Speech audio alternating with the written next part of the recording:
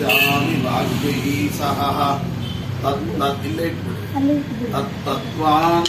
बोधयामि तदनुप्राप्यो मदग्निर्भवेत् विद्या घोषयतीव यः करचयैः वादिवक्त्रम्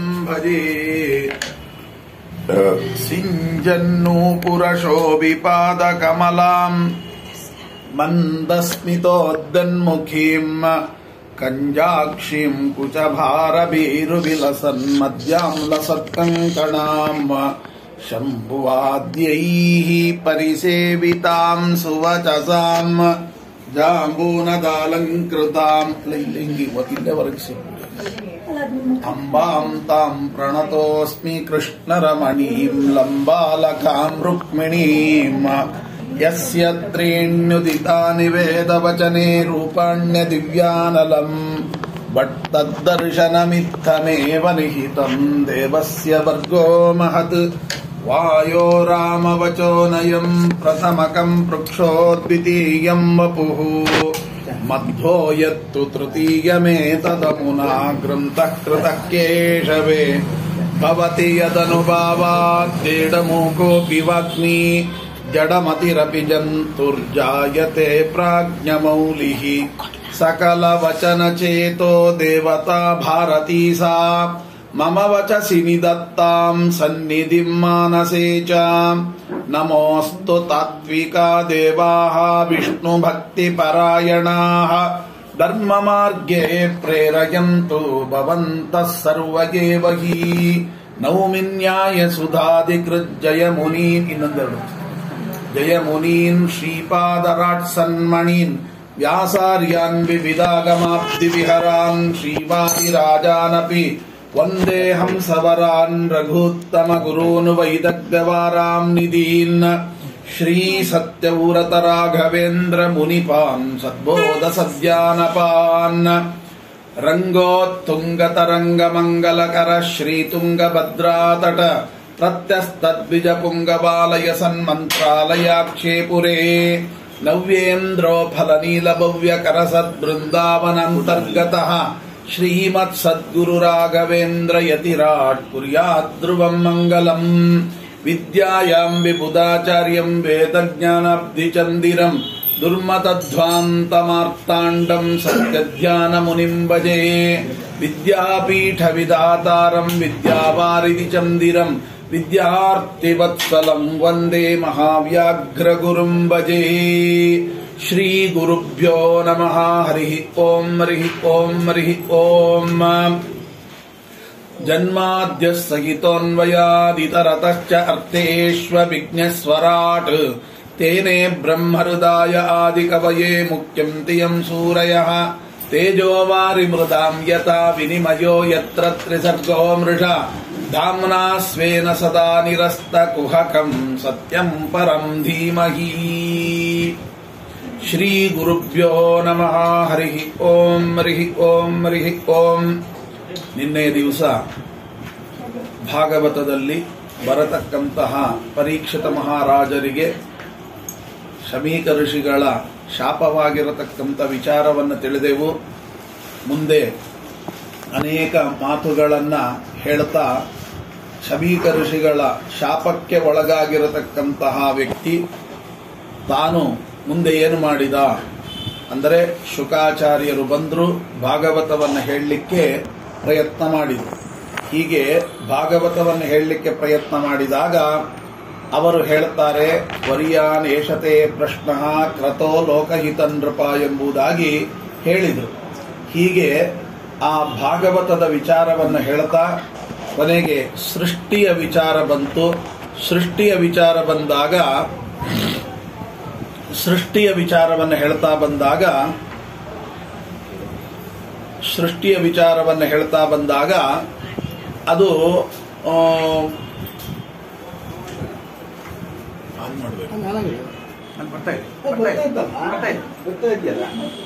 ಸೃಷ್ಟಿಯ ವಿಚಾರವನ್ನು ಹೇಳ್ತಾ ಇರುವಾಗ ಮಹತ್ತತ್ವದ ಸೃಷ್ಟಿ, ಅಹಂಕಾರ ತತ್ವದ ಸೃಷ್ಟಿ, ಆ ಅಹಂಕಾರ ತತ್ವದಲ್ಲೂ ಕೂಡ ಮತ್ತೆ ಮೂರು ವಿಧ, ವೈಕಾರಿಕ, ತೈಜಸ, ತಾಮಸ ಎಂಬುದಾಗಿ, ಆದರೂ ಕೂಡ ಮೈಥುನಿ ಭಾವ ಸೃಷ್ಟಿ ಬೇಕು ಅಂತ ಹೇಳಿದಾಗ, ಸ್ವಯಂ, ಸ್ವಯಂಭುವನು ಮತ್ತು ಶತರೂಪಾದೇವಿಯರು ಅಂತ ಇಬ್ಬರ ಅವತಾರವಾಗಿದೆ. ಆಗ ಅವರಿಬ್ಬರಲ್ಲಿ ಅವತರಿಸಿರತಕ್ಕಂತಹವರೇ ಮೂರು ಹೆಣ್ಣು, ಎರಡು ಗಂಡು. ಆಕೂತಿರ್ ದೇವಹೂತಿಶ್ಚ ಪ್ರಸೂತಿರಿತಿ ವಿಶ್ರುತಾ ಅಂತ ಹೇಳಿದ ಹಾಗೆ ಮೂರು ಜನ ಹೆಣ್ಣು ಮಕ್ಕಳ ಜನನವಾಗಿದೆ. ಆನಂತರ ಎರಡು ಗಂಡು ಮಕ್ಕಳ ಜನನವಾಗಿದೆ. ಅದು ಉತ್ತಾನಪಾದರು ಹಾಗೂ ಪ್ರಿಯವ್ರತರು ಅಂತ. ಹೀಗೆ ಉತ್ತಾನಪಾದರು ಹಾಗೂ ಪ್ರಿಯವ್ರತರ ಜನನವಾಗಿದೆ. ಅದರಲ್ಲಿ ಆಕೂತಿಂ ರುಚಯೇ ಪ್ರಾದಾತ್ ಅಂತ ಹೇಳಿದ ಹಾಗೆ ಆಕೂತಿಯನ್ನ ರುಚಿ ಪ್ರಜಾಪತಿಗಳಿಗೆ ಕೊಟ್ಟು ಮದುವೆ ಮಾಡ್ತಾರೆ ಆಮೇಲೆ ಅಲ್ಲಿ ಪುತ್ರಿಕಾ ಪುತ್ರ ಧರ್ಮ ಅಂತ ಹೇಳ್ತಾರೆ. ಪುತ್ರಿಕಾ ಪುತ್ರ ಧರ್ಮ ಅಂದ್ರೆ ಏನು? ಅಂದರೆ ಪುತ್ರಿಕಾ ಪುತ್ರ ಧರ್ಮ ಅನ್ನುವ ಶಬ್ದಕ್ಕೆ ಅನೇಕ ಅರ್ಥಗಳನ್ನ ಹೇಳಿ ಪುತ್ರಿಕಾ ಪುತ್ರ ಧರ್ಮ ಅಂತಂದ್ರೆ ತನ್ನ ಪತ್ನಿಯಲ್ಲಿ ಹುಟ್ಟುವ ಗಂಡು ಮಗುವನ್ನ ಮಾವನಿಗೆ ಕೊಡಬೇಕು. ಆ ಒಂದು ಕರಾರಿನ ಮೇಲೆಗೆ ಮಗಳನ್ನ ಅವರು ಕೊಡ್ತಾರೆ ಅಂತ. ಹೀಗೆ ಅದನ್ನ ಎಂಟನೆಯ ಸ್ಕಂದದಲ್ಲಿ ಅದರ ವಿವರಣೆಯನ್ನ ಕೊಡ್ತಾ ಹೋಗ್ತಾರೆ. ಆನಂತರ ಮುಂದೆ ಪ್ರಸೂತಿಯನ್ನ ದಕ್ಷ ಪ್ರಜಾಪತಿಗಳಿಗೆ ಕೊಟ್ಟು ಮದುವೆ ಮಾಡ್ತಾರೆ. ಅದಾದ ನಂತರ ದೇವಭೂತಿಯನ್ನ ಕರ್ದಮ ಪ್ರಜಾಪತಿಗಳಿಗೆ ಕೊಟ್ಟು ಮದುವೆ ಮಾಡ್ತಾರೆ. ಎಲ್ಲದಕ್ಕೂ ಸಾಂಕೇತಿಕ ಅರ್ಥಗಳು ತುಂಬಾ ಇದೆ, ಆಧ್ಯಾತ್ಮ ಅರ್ಥಗಳು ತುಂಬಾ ಇದೆ. ಇದರ ಬಗ್ಗೆ ಎಲ್ಲರದು ಎಲ್ಲರದ್ದು ಹೇಳಲಿಕ್ಕಾಗೋದಿಲ್ಲ ಒಂದಾದರೂ ತಿಳ್ಕೊಳ್ಳೋದಾದ್ರೆ, ಅಂದರೆ ಸ್ವಯಂಭುಮನು ಶತರೂಪಾದೇವಿಯರಲ್ಲಿ ದೇವಹೂತಿಯ ಅವತಾರವಾಗಿದೆ. ಅದನ್ನ ಕರ್ದಮ ಪ್ರಜಾಪತಿಗಳಿಗೆ ಕೊಟ್ಟು ಮದುವೆ ಮಾಡಿದಾಗ ಕಪಿಲ ಎಂಬ ಭಗವಂತನ ಅವತಾರವಾಗಿದೆ. ಸಾಂಕೇತಿಕ ಅರ್ಥ ಏನು? ಅಂದ್ರೆ ಎಲ್ಲ ರೀತಿಯಿಂದಲೂ ನಾವು ಅರ್ಥ ಮಾಡಿಕೊಳ್ಬೇಕು. ಸಾಂಕೇತಿಕ ಅರ್ಥ ಏನು ಅಂತ ಕೇಳಿದಾಗ ಸ್ವಯಂಭುವ ಅಂದ್ರೆ ಸ್ವಯಂಭುವ ಅಂದ್ರೆ ಏನು? ಸ್ವಯಂ ಅಂದ್ರೆ ತಾನು. ತಾನು ಈ ಭೂಲೋಕದಲ್ಲಿ ಅವತಾರ ಅಂದ್ರೆ ಹುಟ್ಟಿದ್ದಾನೆ. ಪ್ರತಿ ಒಬ್ಬ ಜೀವನು ಭೂಲೋಕದಲ್ಲಿ ಸಾಧನೆ ಮಾಡಲಿಕ್ಕಾಗಿ ಹುಟ್ಟಬೇಕು. ಹುಟ್ಟುವಾಗ ಏನು ಸಿಗುತ್ತೆ ಅಂತ ಕೇಳಿದಾಗ ಶತರೂಪ. ಶತರೂಪ ಅಂದ್ರೆ ರೂಪ ಅಂದ್ರೆ ನಾನಾ ರೂಪಗಳು. ಅದು ಎಷ್ಟು ಶತ ಶತ ಅಂದ್ರೆ ಪೂರ್ಣ ಅಂತ ಅರ್ಥ ಪೂರ್ಣ ಅಂದ್ರೆ ಏನು? ಸಾಕಷ್ಟು ನೂರಾರು ರೂಪಗಳು ನಮ್ಮ ಕಣ್ಣಿಗೆ ಬೀಳ್ತವೆ. ರೂಪಗಳು ಅನ್ನುವ ಶಬ್ದಕ್ಕೆ ಯಾವುದು ಇಂದ್ರಿಯಗಳನ್ನ ದಾರಿ ತಪ್ಪಿಸುತ್ತದೋ ಅದು ರೂಪಗಳು. ಅದು ಬೇರೆ ಬೇರೆ ರೀತಿಯಲ್ಲಿ ಇರಬಹುದು. ಕೆಲವರಿಗೆ ಅದನ್ನು ಆ ವಸ್ತುವನ್ನು ನೋಡುವಾಗ ತುಂಬಾ ಖುಷಿ, ಫ್ಲಾಟ್ ಆಗಿಬಿಡ್ತಾರೆ. ಅಯ್ಯೋ, ಏನಾರು ಮಾಡಿ ಅದನ್ನು ತಗೊಳ್ಬೇಕು ಅಂತ. ಕೆಲವರಿಗೆ ಮನೆ ನೋಡುವಾಗ ಖುಷಿ ಆಗುತ್ತೆ. ಏನಾರು ಮಾಡಿ ಇಂಥ ಮನೆ ಕಟ್ಟಿಸ್ಬೇಕು ಅಂತ. ಕೆಲವರಿಗೆ ಒಂದು ಹೆಣ್ಣನ್ನು ನೋಡಿದಾಗ ಏನಾರು ಮಾಡಿ ಇವಳನ್ನ ನಾನು ಹೆಂಡತಿಯನ್ನಾಗಿ ಮಾಡಿಕೊಳ್ಬೇಕು ಅಥವಾ ಇನ್ನೇನೋ ಬೇಕಾದಷ್ಟು ಕೆಲವರಿಗೆ ಸೀರೆ ನೋಡುವಾಗ ಅಬ್ಬಾ, ಎಷ್ಟು ಚೆನ್ನಾಗಿದೆ ಅಂತ. ಆಮೇಲೆ ಕೆಲವರಿಗೆ ಇನ್ನೇನೋ ನೋಡುವ ಪುಸ್ತಕಗಳನ್ನು, ಕೆಲವರಿಗೆ ಹವ್ಯಾಸ ಪುಸ್ತಕ, ಅಬ್ಬ, ಎಂತಹ ಪುಸ್ತಕ, ಏನಾರು ಮಾಡಿದ್ದನ್ನು ಕೊಂಡ್ಕೊಳ್ಬೇಕು. ಹೀಗೆಲ್ಲ ಬೇರೆ ಬೇರೆ ಬೇರೆ. ಅದು ಒಳ್ಳೆಯತನದಾಗಿದ್ರೆ ಪರವಾಗಿಲ್ಲ. ಅದು ಕೆಟ್ಟ ಕೆಟ್ಟ ಮಾರ್ಗಕ್ಕೆ ಹೋಗಿಬಿಟ್ರೆ ಅದು ಇಂದ್ರಿಯಗಳು ಮತ್ತೆ ವಾಪಸ್ ಬರುವುದೇ ಇಲ್ಲ. ಹಾಗಾಗಿ ಇಂತಹ ಸಂದರ್ಭದಲ್ಲಿ ನಾವೇನ್ ಮಾಡಬೇಕು ಅಂದ್ರೆ, ದೇವಹೂತಿ ಎಂಬ ಮಗಳನ್ನ ಪಡಿಬೇಕು ಅಂತ. ದೇವಹೂತಿ ಅಂದ್ರೆ ಎಷ್ಟೇ ರೂಪಗಳಿರಲಿ, ನಾನಾ ರೂಪಗಳಿರಲಿ, ಅದರಲ್ಲಿ ದೇವರನ್ನ ಕಾಣುವ ರೂಪ ಅಂತ ಒಂದು ಉಂಟಲ್ವ? ದೇವರನ್ನ ಕಾಣುವ ಉಪಾಯ ಅಂತ ಉಂಟಲ್ವ ಈಗ ನೋಡಿ, ನಿನ್ನೆ ಹರಿದಿನ. ಯಾರು ಹರಿದಿನವನ್ನ ಆಚರಣೆ ಮಾಡ್ತಾರೆ? ಹರಿದಿನದಲ್ಲಿ ಆರಾಮಾಗಿ ಭಗವಂತನ ಅನುಗ್ರಹ ಸಂಪಾದಿಸುವ ಕ್ರಮ, ಜಾಗರಣೆ ಇರಬಹುದು ಭಜನೆ ಇರಬಹುದು ಭಗವಂತನ ಕಥೆ ಇರಬಹುದು ಉಪವಾಸ, ಎಲ್ಲ ರೀತಿಯಲ್ಲಿ. ಆಗ ಏನಾಗ್ತಾನೆ ಭಗವಂತ ನಮಗೆ ಹತ್ತಿರವಾಗ್ತಾನೆ. ಇದು ದೇವರನ್ನ ಕಾಣುವ ಮಾರ್ಗ. ಅದನ್ನೇ ದೇವಹೂತಿ ಅಂತ ಹೇಳಿದ್ರು.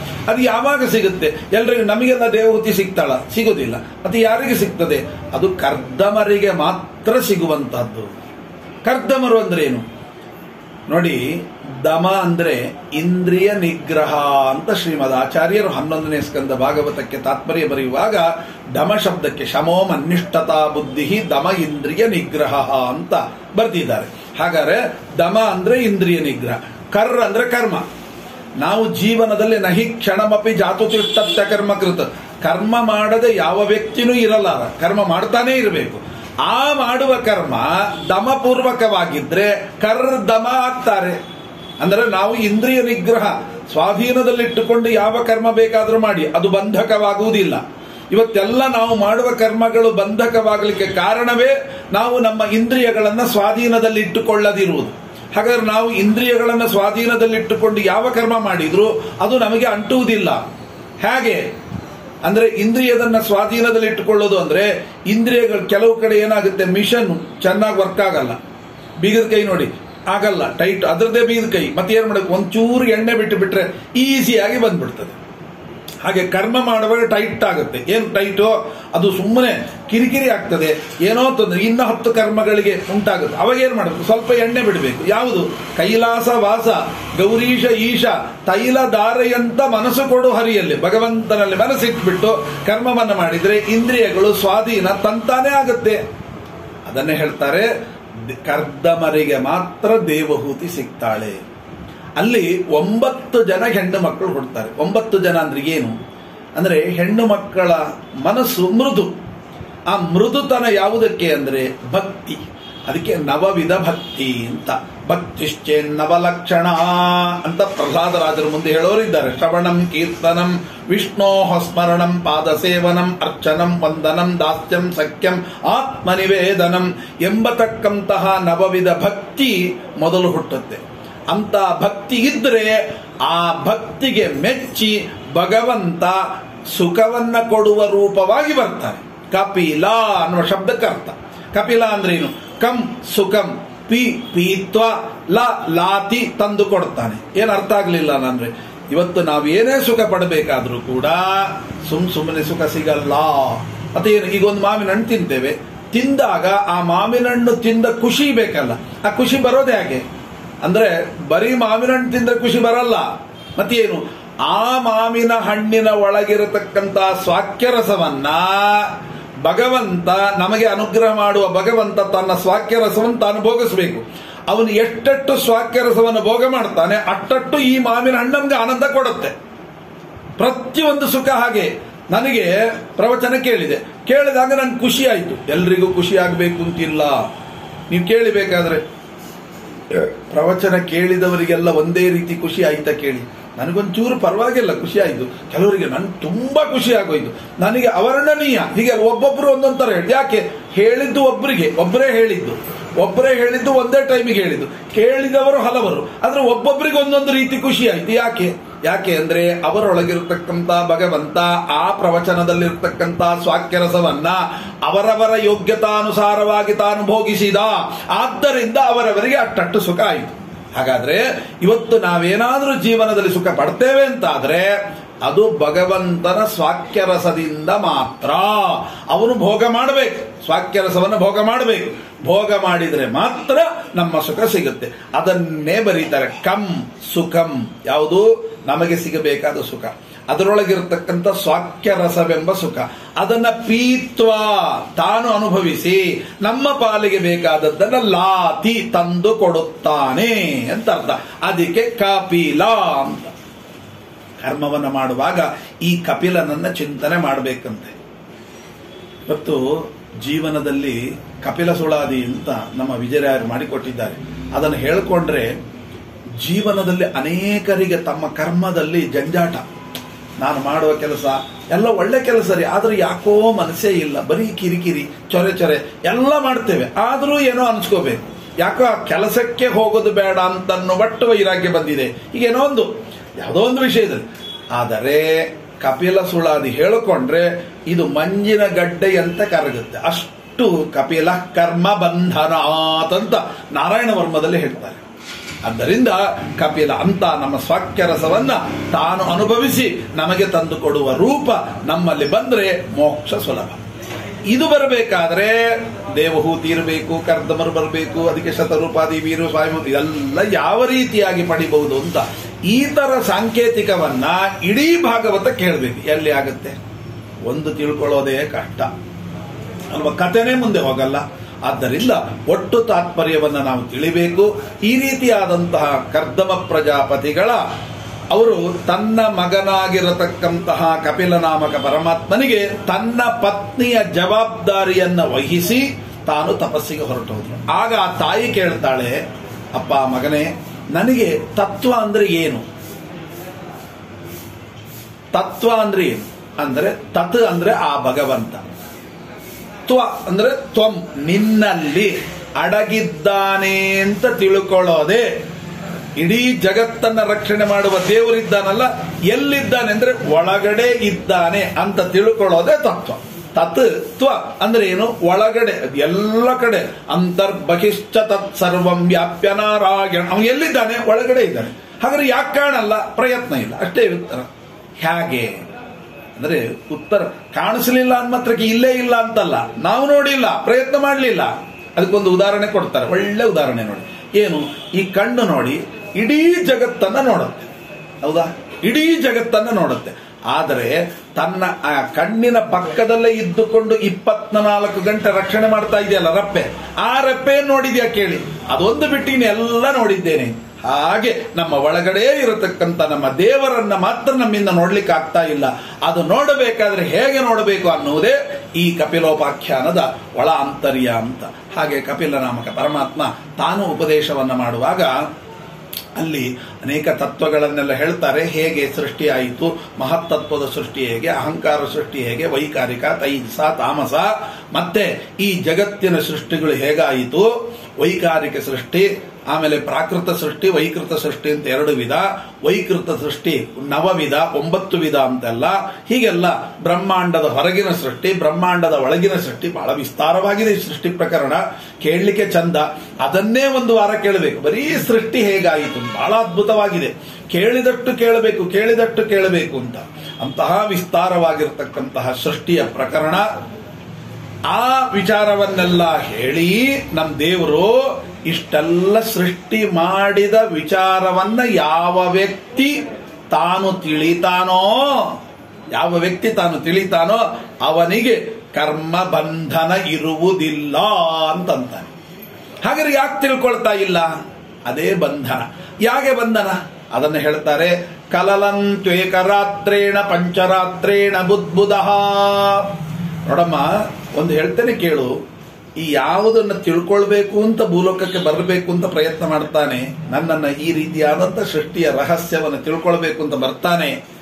ಬಂದೇನಾದ್ರೂ ಅವನು ತಿಳ್ಕೊಂಡ ಹಾಗೆ ಬಂದು ತಿಳ್ಕೊಂಡ ಅಂತ ಇಟ್ಕೊಳ್ಳಿ. ಯಾವ ಬಂಧನವೂ ಇಲ್ಲ. ಆ ತರ ಒಬ್ಬರನ್ನಾದ್ರೂ ತೋರಿಸಿ ನೋಡೋಣ. ಇದ್ದಾರೆ ಅಲ್ಲ, ಜ್ಞಾನಿಗಳಿದ್ದಾರೆ, ನಾವಿಲ್ಲ. ಮತ್ ನಾವೆಲ್ಲ ಗೊತ್ತಿದೆ. ಸೃಷ್ಟಿ ರಹಸ್ಯವನ್ನು ತಿಳ್ಕೊಂಡ್ಬಿಟ್ರೆ ಈ ಬಂಧನ ಬಿಟ್ಟು ಹೋಗತ್ತೆ ಅಂತ. ಆದ್ರೆ ಯಾಕೆ ತಿಳ್ಕೊಳ್ತಾ ಇಲ್ಲ? ಯಾಕೆ ತಿಳ್ಕೊಳ್ತಾ ಇಲ್ಲ ಅಂದ್ರೆ ಅದೇ ಕಷ್ಟ. ಅದು ತಲೆಗೇ ಹೋಗುವುದಿಲ್ಲ. ಕಬ್ಬಿಣದ ಕಡಲೆ ಆಗಿದೆ. ಮತ್ತೆ ಏನ್ ಮಾಡ್ಬೇಕೀಗ ಕಷ್ಟಪಟ್ಟು ತಿಳ್ಕೊಳ್ಬೇಕು. ಅದನ್ನೇ ಹೇಳ್ತಾರೆ, ಏನ್ ಸಮಸ್ಯೆ ಹೇಳ್ತೇನೆ ಕೇಳು. ಏನು? ನೋಡಿ, ಚೆನ್ನಾಗಿ ವಿವರಣೆ ಕೊಡ್ತಾನೆ. ಏನಾಗಿದೆ? ಅಂದ್ರೆ ಒಂದು ಗಂಡು, ಹೆಣ್ಣು ಖುಷಿ ಪಡ್ತಾರೆ, ಒಟ್ಟಾಗ್ತಾರೆ. ಆ ಎರಡು ಒಟ್ಟಿಗೆ ಸೇರುತ್ತೆ. ಒಂದು ಶುಕ್ಲ, ಮತ್ತೊಂದು ಶೋಣಿತ. ಎರಡು ಕಲಲಂತ್ವೇಕರಾತ್ರೇಣ ಒಂದು ರಾತ್ರಿಯಲ್ಲಿ ಸ್ತ್ರೀ ಗರ್ಭವನ್ನ ಎರಡು ಪ್ರವೇಶ ಮಾಡಿ ಕಲಲಂ ಕೂಡುತ್ತಂತೆ. ಒಂದು ರಾತ್ರಿಯಲ್ಲಿ ಎರಡು ಮಿಶ್ರಣ ಆಗುತ್ತೆ, ಶುಕ್ಲ ಮತ್ತು ಶೋಣಿತ. ಪಂಚರಾತ್ರೇಣ ಬುದ್ಬುಧ ಐದು ರಾತ್ರಿ ಆಯಿತು ಅಂದ್ರೆ ಸಿಂಬಳಾಕಾರ ಆಗುತ್ತಂತೆ. ಮೊದಲು ನೀರು ನೀರು ಇರ್ತದೆ, ಆಮೇಲೆ ಸಿಂಬಳಾಕಾರವಾಗುತ್ತೆ. ಆಮೇಲೆ ದಶಾಹೇನತು ಕರ್ಕಂದುಹು. ಇನ್ನ ಐದು ರಾತ್ರಿ ಬಿಡ್ಲಿ, ಅಲ್ಲಿಗೆ ಹತ್ತು ರಾತ್ರಿ ಆಗುತ್ತದೆ.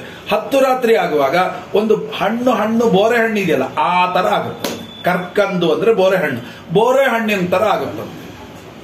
ಮಾಸೇನತು ನಕಲೋಮಾಭ್ಯಾಂ. ಒಂದು ತಿಂಗಳಾಯಿತು ಅಂದ್ರೆ ಕೂದಲು, ಉಗುರು ಎಲ್ಲ ಶುರುವಾಗುತ್ತೆ. ನಮ್ಮ ಕೈ ಕರಡು ಚರಣಾದಿಗಳು ದ್ವಿತೀಯ ಹನಿ ಎರಡನೇ ಇದಾದಾಗ, ತಿಂಗಳಾದಾಗ, ದ್ವಿತೀಯ ಮಾಸದಲ್ಲಿ ಕುತ್ತಿಗೆ, ಗ್ರೀವ, ಸ್ಕಂದವು, ದೇಹ ಎಲ್ಲವೂ ಆಗುತ್ತೆ. ಕ್ರಮೇಣ ಎಲ್ಲಿ ತನಕ ನಾಲ್ಕನೆಯ ತಿಂಗಳು ಬರೋದ್ರೊಳಗೆ ಒಂದು ಒಂದು ಹಂತದ ತನಕ ಪೂರ್ತಿ ಅವಯವಗಳ ನಿಷ್ಪತ್ತಿ ಆಗುತ್ತೆ. ಆಮೇಲೆ ಐದನೇ ತಿಂಗಳು ಬಂದಾಗ ಏನಾಗತ್ತೆ? ಕ್ಷುದ ತೃಷ ಅಂತಾರೆ. ಪಂಚಮ ಮಾಸದಲ್ಲಿ ಕ್ಷುದ ಮತ್ತು ತೃಷ. ಅಂದ್ರೆ ಏನು? ಹಸಿವೆ ನೀರಡಿಕೆ.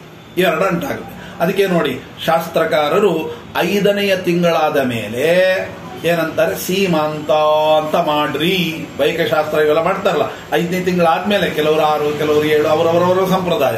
ಅಂತೂ ಒಟ್ಟಿನಲ್ಲಿ ಐದನೇ ತಿಂಗಳ ನಂತರವೇ, ಯಾಕೆ ಅಂದ್ರೆ ಆ ಮಗುವಿಗೆ ಹಸಿವೆ ನೀರಡಿಕೆ ಉಂಟಾಗೋದೇ ಆವಾಗ. ಅಲ್ಲಿ ತನಕ ಹಸಿವೆ ನೀರಡಿಕೆ ಉಂಟಾಗುವುದಿಲ್ಲ. ಹೀಗೆ ಆಗಲಮ್ಮ, ಒಂಬತ್ತು ತಿಂಗಳಾಯಿತು ಆಮೇಲೆ ಯಾವಾಗ ಗರ್ಭ ಎಡಕ್ಕೆ ಹೊರಳುತ್ತೆ, ಬಲಕ್ಕೆ ಹೊರಳುತ್ತೆ, ಎಲ್ಲ ತಲೆ ಕೆಳಗಾಗುತ್ತೆ, ದೇವರ ಹತ್ರ ಪ್ರಾರ್ಥನೆ ಮಾಡಿಕೊಳ್ತದೆ, ತುಂಬಾ ಉಂಟು. ಆಗ ಮತ್ತೆ ಪ್ರಶ್ನೆ ಮಾಡ್ತಾನೆ, ಹಾಗಾದ್ರೆ ಒಳಗಿರ್ತಕ್ಕಂಥ ಜೀವನ ಉದರ ಪೋಷಣೆ ಹೇಗೆ? ಆಗ ತಾಯಿ ಏನ್ ತಿಂತಾಳಲ್ಲ, ಅದನ್ನೇ ಮಗು ತಿಂತದೆ. ಅಲ್ಲ, ತಾಯಿ ತಿಂದದ್ದನ್ನ ಮಗು ತಿಂದ್ರೆ ಅವಳಿಗೆ ಒಳ್ಳೆ ಈ ಗಾಂಧಾರಿ ಜೀರಿಗೆ ಮೆಣಸು ಅಂತ ಇರುತ್ತೆ ನೋಡಿ, ಅದು ಇಷ್ಟ. ಇದು ತಿಂದ್ಬಿಟ್ರೆ ಸತ್ತೇ ಹೋಗುತ್ತೆ. ಮತ್ತೆ ಏನ್ರಿ ಹಾಗಾದ್ರೆ ಅಂದ್ರೆ, ಅವಳು ಏನ್ ತಿಂತಾಳಲ್ಲ, ಅದನ್ನ ದೇವ್ರು ಏನ್ ಮಾಡ್ತಾರೆ, ಅವಳ ಒಳಗಿಂದ ನಾಳದಿಂದ ಈ ಮಗುವಿನ ಹೊಕ್ಕಳಿಗೆ ಬಾಯಿಗೆ ಸೇರ್ತಾನಂತೆ, ಒಂದು ನಾಳ ಬಿಡ್ತಾನಂತೆ. ಆ ನಾಳಕ್ಕೆ ಹೆಸರೇನು? ಆಪ್ಯಾಯನಿ ಅಂತ ಒಂದು ನಾಡಿ. ಅದು ಹೊಕ್ಕಳಿನ ಒಳಕಾಂತರ. ಏನು ಅಂದ್ರೆ, ಆ ತಾಯಿ ತಿಂತಾಳಲ್ಲ, ಉಪ್ಪು, ಹುಳಿ, ಖಾರ, ಅದನ್ನೆಲ್ಲ ಈ ಮಗುವಿನ ಹೊಟ್ಟೆಗೆ ಸೇರಿಸ್ತಾನೆ ಅಲ್ಲ, ಏನು ಆಗಲ್ವಾ? ಉದಾಹರಣೆ ಕೊಡಬೇಕಾದ್ರೆ, ನೀವು ಊಟ ಕೂತಿರ್ತೀರಿ. ಮಗುಗೆ ಅನ್ನಪ್ರಾಶನ ಆಗಿದೆ. ಅದು ಹೇಳ್ತದೆ, ನಾನು ಊಟ ಮಾಡ್ತೀನಿ ಅಂತ. ಅದು ನೀನ್ ತಿಂತೀಯಲ್ಲ, ಅದೇ ನಂಗೆ ಬೇಕು ಅಂತದೆ. ಸರಿ, ಆಯಿತು. ಏನ್ ಮಾಡ್ತಾನೆ? ಅನ್ನವನ್ನ. ಹೆಂಡತಿ ಬಂದು ಕೇಳ್ತಾಳೆ, ಏನ್ರಿ ಮಗು ಏನು ಊಟ ಮಾಡ್ತು? ನಾನೇನು ಊಟ ಮಾಡಿದೆ ಅದನ್ನೇ ತಿನ್ಸಿಬಿಟ್ಟೆ ಅಂತಾನೆ. ನೀವೇನು ಊಟ ಮಾಡ್ತೀರ ಅದನ್ನು ತಿನ್ಸಿದ್ರೆ ಮಗು ಸತ್ತೋಗಲ್ವ? ಮತ್ತೆ ಏನ್ ಏನ್ ತಿಂದ್ರಿ? ಅಂದ್ರೆ ಅದಕ್ಕೆ ಅರ್ಥ ಉಂಟು. ಏನು, ನಾನ್ ತಿಂದದ್ದೇ ಅದು ತಿನ್ಸಿದೆ ಅಂದ್ರೆ ಏನು? ಅದರಲ್ಲೂ ಒಂದು ನಾಲ್ಕು ಅಗಳು ತಗೊಂಡೆ, ಮೆತ್ತಗೆ ಮಾಡಿದೆ ಲಿಕ್ವಿಡ್ ಮಾಡಿದೆ, ಬಾಯಿಗಿಟ್ಟ ನುಂಗಿ ಬಿಡ್ತು ಅದೇ ಅನ್ನ ತ ನಾನೇನ್ ಬೇರೆ ಅನ್ನ ಹಾಕೊಂಡು ತಿಂದೆ, ನಾನೇನ್ ತಿಂದೆ ಅದನ್ನೇ ತಿನ್ನಿಸಿದೆ ಆದ್ರೆ ಅದು ಹೇಗೆ ತಿನ್ನಬೇಕು, ಹಾಗೆ ತಿನ್ನಿಸಿದೆ ಅಂತ ಅರ್ಥ. ಹಾಗೆ ನಮ್ಮ ದೇವರು ಈ ತಾಯಿ ತಿಂದಿರ್ತಾಳಲ್ಲ, ಉಪ್ಪು, ಹುಳಿ, ಖಾರ, ಅದನ್ನೆಲ್ಲ ಹೀಗೆ ಹಿಚ್ಚುತ್ತಾನಂತೆ ಹೇಗೆ ನಾವು ಅನ್ನವನ್ನು ಹಿಚಿಕಿ ಲಿಕ್ವಿಡ್ ಮಾಡಿ ಮಗುವಿಗೆ ಕೊಟ್ಟು ತಿನ್ನಿಸ್ತೇವೋ ಹಾಗೆ ದೇವರು ಹೀಗೆ ಹಿಚ್ಚುತ್ತಾನಂತೆ ಹಿಚಿಕಿ ಹಿಚಿಕಿ ಹಿಚಿಕಿ. ಆ ಮಗುವಿಗೆ ಎಷ್ಟು ಸಿಹಿ ಬೇಕೋ ಅಷ್ಟು ಹಿಚಿಕ್ತಾನೆ ನೋಡಿ, ನಾವು ಅನ್ನವನ್ನು ಮೆತ್ತೆ ಮಾಡಬಹುದು ರುಚಿಯನ್ನು ಮೆತ್ತನೆ ಮಾಡ್ತಾನಂತೆ. ಈ ಮಗುವಿಗೆ ಎಷ್ಟು ಸಿಹಿ ಬೇಕೋ ಅಷ್ಟೇ ಸಿಹಿ ಮಾಡ್ತಾನಂತೆ. ಈ ಮಗುವಿಗೆ ಎಷ್ಟು ಉಪ್ಪು ಬೇಕೋ ಅಷ್ಟು ಉಪ್ಪು ಹಿಚ್ಚುತ್ತಾನಂತೆ ಖಾರ ಈ ಮಗುವಿಗೆ ಎಷ್ಟು ಒಳ್ಳೇದಾಗುತ್ತೆ ಅಷ್ಟು ಅಟ್ಟೆ ಅಲ್ಲ ಬಿಸಿ ಎಟ್ಟಬೇಕು. ಬೇಕು ಆ ಮಗುವಿನ ಹೊಟ್ಟೆ ಒಳಗೆ ಬಿಸಿ ಎಷ್ಟು ತಟ್ಕೊಳ್ತದೆ? ಅಟ್ಟೆ ಬಿಸಿ. ಅಟ್ಟೆ ಬಿಸಿ, ಅಟ್ಟೆ ನೀರು, ಅಟ್ಟೆ ಗಟ್ಟಿ, ಅಟ್ಟೆ ಉಪ್ಪು, ಅಟ್ಟೆ ಹುಳಿ, ಅಟ್ಟೆ ಖಾರ ಎಲ್ಲವನ್ನು ಹೆಚ್ಚುಕುತ್ತ ಅದಕ್ಕೆ ಒಂದು ನಾಡಿ ಇಟ್ಬಿಟ್ಟಿದ್ದಾನೆ ಸಬ್ಸ್ಟಿಟ್ಯೂಟ್ ಆಗಿ. ದೇವರು ಮಾಡಲ್ಲ. ದೇವರು ಒಳಗೆ ನಿಂತುಕೊಂಡು ಮಾಡಿಸೋದು. ಆದ್ರೆ ಕೆಲಸ ಯಾವುದು? ಅದೊಂದು ನಾಡಿ. ಅದಕ್ಕೆ ಹೆಸರೇ ಆಪ್ಯಾಯಿ. ನೋಡ್ಲಿಕ್ಕೆ ಮಾಮೂಲು ನಾರ. ನರ ಇದ್ದಾಗ ಉಂಟಾಗ್ತದೆ. ಅಷ್ಟು ಕೆಲಸ ಮಾಡ್ತದೆ. ಅದನ್ನ ಕೊಡುತ್ತೆ. ಮಗು ಹುಟ್ಟಿದ ಮೇಲೆ, ನೋಡಿ, ಅದರ ತಾಕತ್ತೆಟ್ಟು ಅಂದರೆ, ಹಿಂದಿನ ಕಾಲದಲ್ಲಿ ಹೇಳ್ತಾ ಇದ್ದು ಮಗು ಹುಟ್ಟಿದ ಕೂಡಲೇ ಜಾತಕರ್ಮ ಮಾಡಬೇಕಂತೆ. ನಾಮಕರಣ ಹನ್ನೊಂದನೇ ದಿನ. ಹನ್ನೊಂದನೇ ದಿನ ಮುಂದೆ ಯಾವತ್ತು ಅವರ ಅನುಕೂಲ. ಅದರ ಶಾಸ್ತ್ರ ಹೇಳಿದ್ದು ಹನ್ನೊಂದನೇ ದಿನ. ಅಂದ್ರೆ, ಆ ಜಾತಕರ್ಮ ಅಂತ ನಾಮಕರಣ ಆಗ್ಬೇಕಾದ್ರೆ ಜಾತಕರ್ಮ ಆಗ್ಬೇಕು. ಅದು ಮೊದಲನೇ ದಿನ. ಮಗು ಹುಟ್ಟಿದ ಕೂಡಲೇ ಜಾತಕರ್ಮ, ಪುಣ್ಯ, ಗಿಣ್ಯ ಎಲ್ಲ ಮಾಡಿ. ಹನ್ನೊಂದನೇ ದಿನ ನಾಮಕರಣ.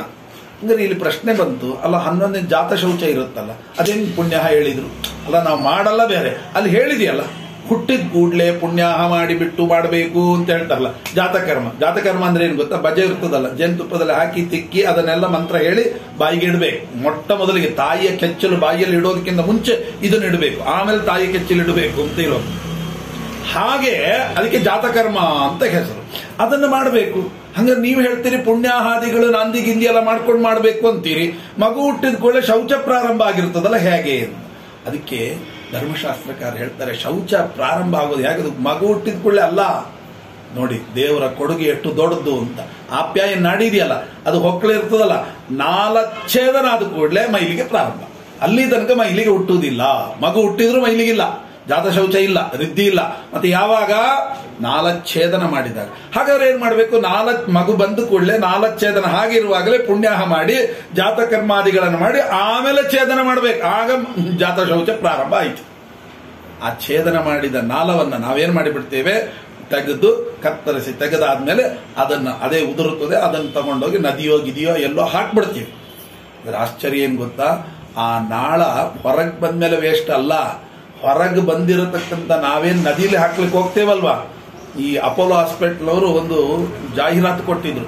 ಅದನ್ನು ನೀವು ಬಿಸಾಡಬೇಡಿ, ನಮ್ಗೆ ಕೊಡಿ. ಯಾಕೆ ಅಂತ ಕೇಳಿದ್ರೆ ಡಯಾಬಿಟಿಸ್ ಕ್ಯಾನ್ಸರ್ ಮೊದಲಾಗಿರತಕ್ಕಂತ ರೋಗಗಳ ಚಿಕಿತ್ಸೆಯನ್ನು ಮಾಡ್ಲಿಕ್ಕೆ ಇದು ಬಹಳ ಉಪಕಾರಿ.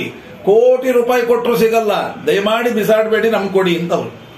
ಆ ಒಂದು ಬಳ್ಳಿಯಿಂದ ನೀವು ಎಷ್ಟು ಜನರಿಗೆ ಟ್ರೀಟ್ಮೆಂಟ್ ಕೊಡ್ತೀರಿ ಅಂದ್ರೆ twenty years more than twenty years ನಾವು ಟ್ರೀಟ್ಮೆಂಟ್ ಕೊಡಬಹುದು ಒಂದು ಬಳ್ಳಿಯಿಂದ. ಅಂತಹ ಸಾಮರ್ಥ್ಯ ಅಂತ ಇವತ್ತಿನ ಡಾಕ್ಟರ್ ಕಂಡು ಹಿಡಿದಿದ್ದಾರೆ ಅಂದ್ರೆ ಇದು ನಮ್ಮ ದೇವರ ಪ್ರತಿಯೊಬ್ಬರ ಹೊಟ್ಟೆ ಒಳಗಿಟ್ಟ ನಾವು ಕೋಟಿಗಟ್ಟಲೆ ಕೊಟ್ಟರು ಸಿಗೋದಿಲ್ಲ ಇದು ಅಂತ ಅನ್ಬೇಕಾದ್ರೆ ಇದನ್ನ ನಾವು ಏನ್ ಡಿಪಾಸಿಟ್ ಇಟ್ಟಿದೀವಿ ದೇವರ ಹತ್ರ? ಯಾಕೆ ಕೊಡಬೇಕು? ಯಾರು ಕೊಟ್ಟರು ಒಂದು ಇಲ್ಲ. ಇದನ್ನೇ ಗರ್ಭ ನೋಡಮ್ಮ, ಇಷ್ಟೆಲ್ಲ ಉಪಕೃತರಾಗಿರತಕ್ಕಂತ ಜೀವ, ಇಷ್ಟೆಲ್ಲ ಉಪಕೃತನಾಗಿರತಕ್ಕಂತ ಜೀವ ಏನ್ ಮಾಡ್ತಾನೆ? ಒಂದು ದಿನ ಕೂಡ ಇಂತಹ ವ್ಯಕ್ತಿಯ ಬಗ್ಗೆ ವಿಚಾರ ಮಾಡುವುದಿಲ್ಲ. ಇಂತಹ ವ್ಯಕ್ತಿಯ ಬಗ್ಗೆ ಒಂದು ದಿನ ಆದರೂ ವಿಚಾರ ಮಾಡ್ತಾನೆ ನಮ್ಮ, ಒಂದು ದಿನವೂ ವಿಚಾರ ಮಾಡುವುದಿಲ್ಲ. ಮತ್ತೆ ಏನು ಮಾಡಬೇಕು ಹಾಗಾದರೆ? ಅದಕ್ಕೋಸ್ಕರವಾಗಿ ಹೇಳಿದ್ರು, ಏನು ಯೋಚನೆ ಮಾಡಬೇಡಮ್ಮ, ಈ ತರ ಭಗವಂತ ಅನುಗ್ರಹ ಮಾಡ್ತಾನೆ ಅನ್ನುವ ತತ್ವವನ್ನು ತಿಳ್ಕೊಂಡ್ರೆ. ಈ ಬಂಧನ ತಂತಾನೆ. ನೋಡಿ, ಇಷ್ಟೆಲ್ಲ ಮಾಡ್ತಾನೆ. ಹೊರಗೆ ಬಂದ್ಮೇಲೆ ಎಲ್ಲ ಮರೆತು ಬಿಡ್ತಾನೆ. ನಮ್ಮ ಬಾಲ್ಯ ಅಂತೆ, ಯೌವನ ಅಂತೆ, ಕೌಮಾರ ಅಂತೆ, ವಾರ್ಧಕ್ಯ ಅಂತೆ. ಬಾಲ್ಯದಲ್ಲಿ ಕೇಳಿ, ಒಂಚೂರು ದೊಡ್ಡವನಾಗ್ಲಿ ಆಮೇಲೆ ಎಲ್ಲ ಸಾಧನೆ. ದೊಡ್ಡವನಾದ್ಮೇಲೆ ಒಂಚೂರು ಎಲ್ಲ ಮುಗಿಲಿ, ಅದ ಕೆಲಸ, ಗಿಲ್ಸ ಎಲ್ಲ ಮುಗಿಲಿ. ಆಮೇಲೆ ಮದುವೆ ಆಗ್ಲಿ, ಆಮೇಲೆ ನೋಡೋಣ. ಮಕ್ಕಳಾಗ್ಲಿ ನೋಡೋಣ. ಆಮೇಲೆ ರಿಟೈರ್ಡ್ ಆಗ್ಲಿ ನೋಡೋಣ. ರಿಟೈರ್ಡ್ ಆಗಿ ನೋಡೋಷ್ಟಿಗೆ ಏನು ಗೊತ್ತಾ? ಕಣ್ಣು ಕಾಣಲ್ಲ, ಕಿವಿ ಕೇಳಲ್ಲ.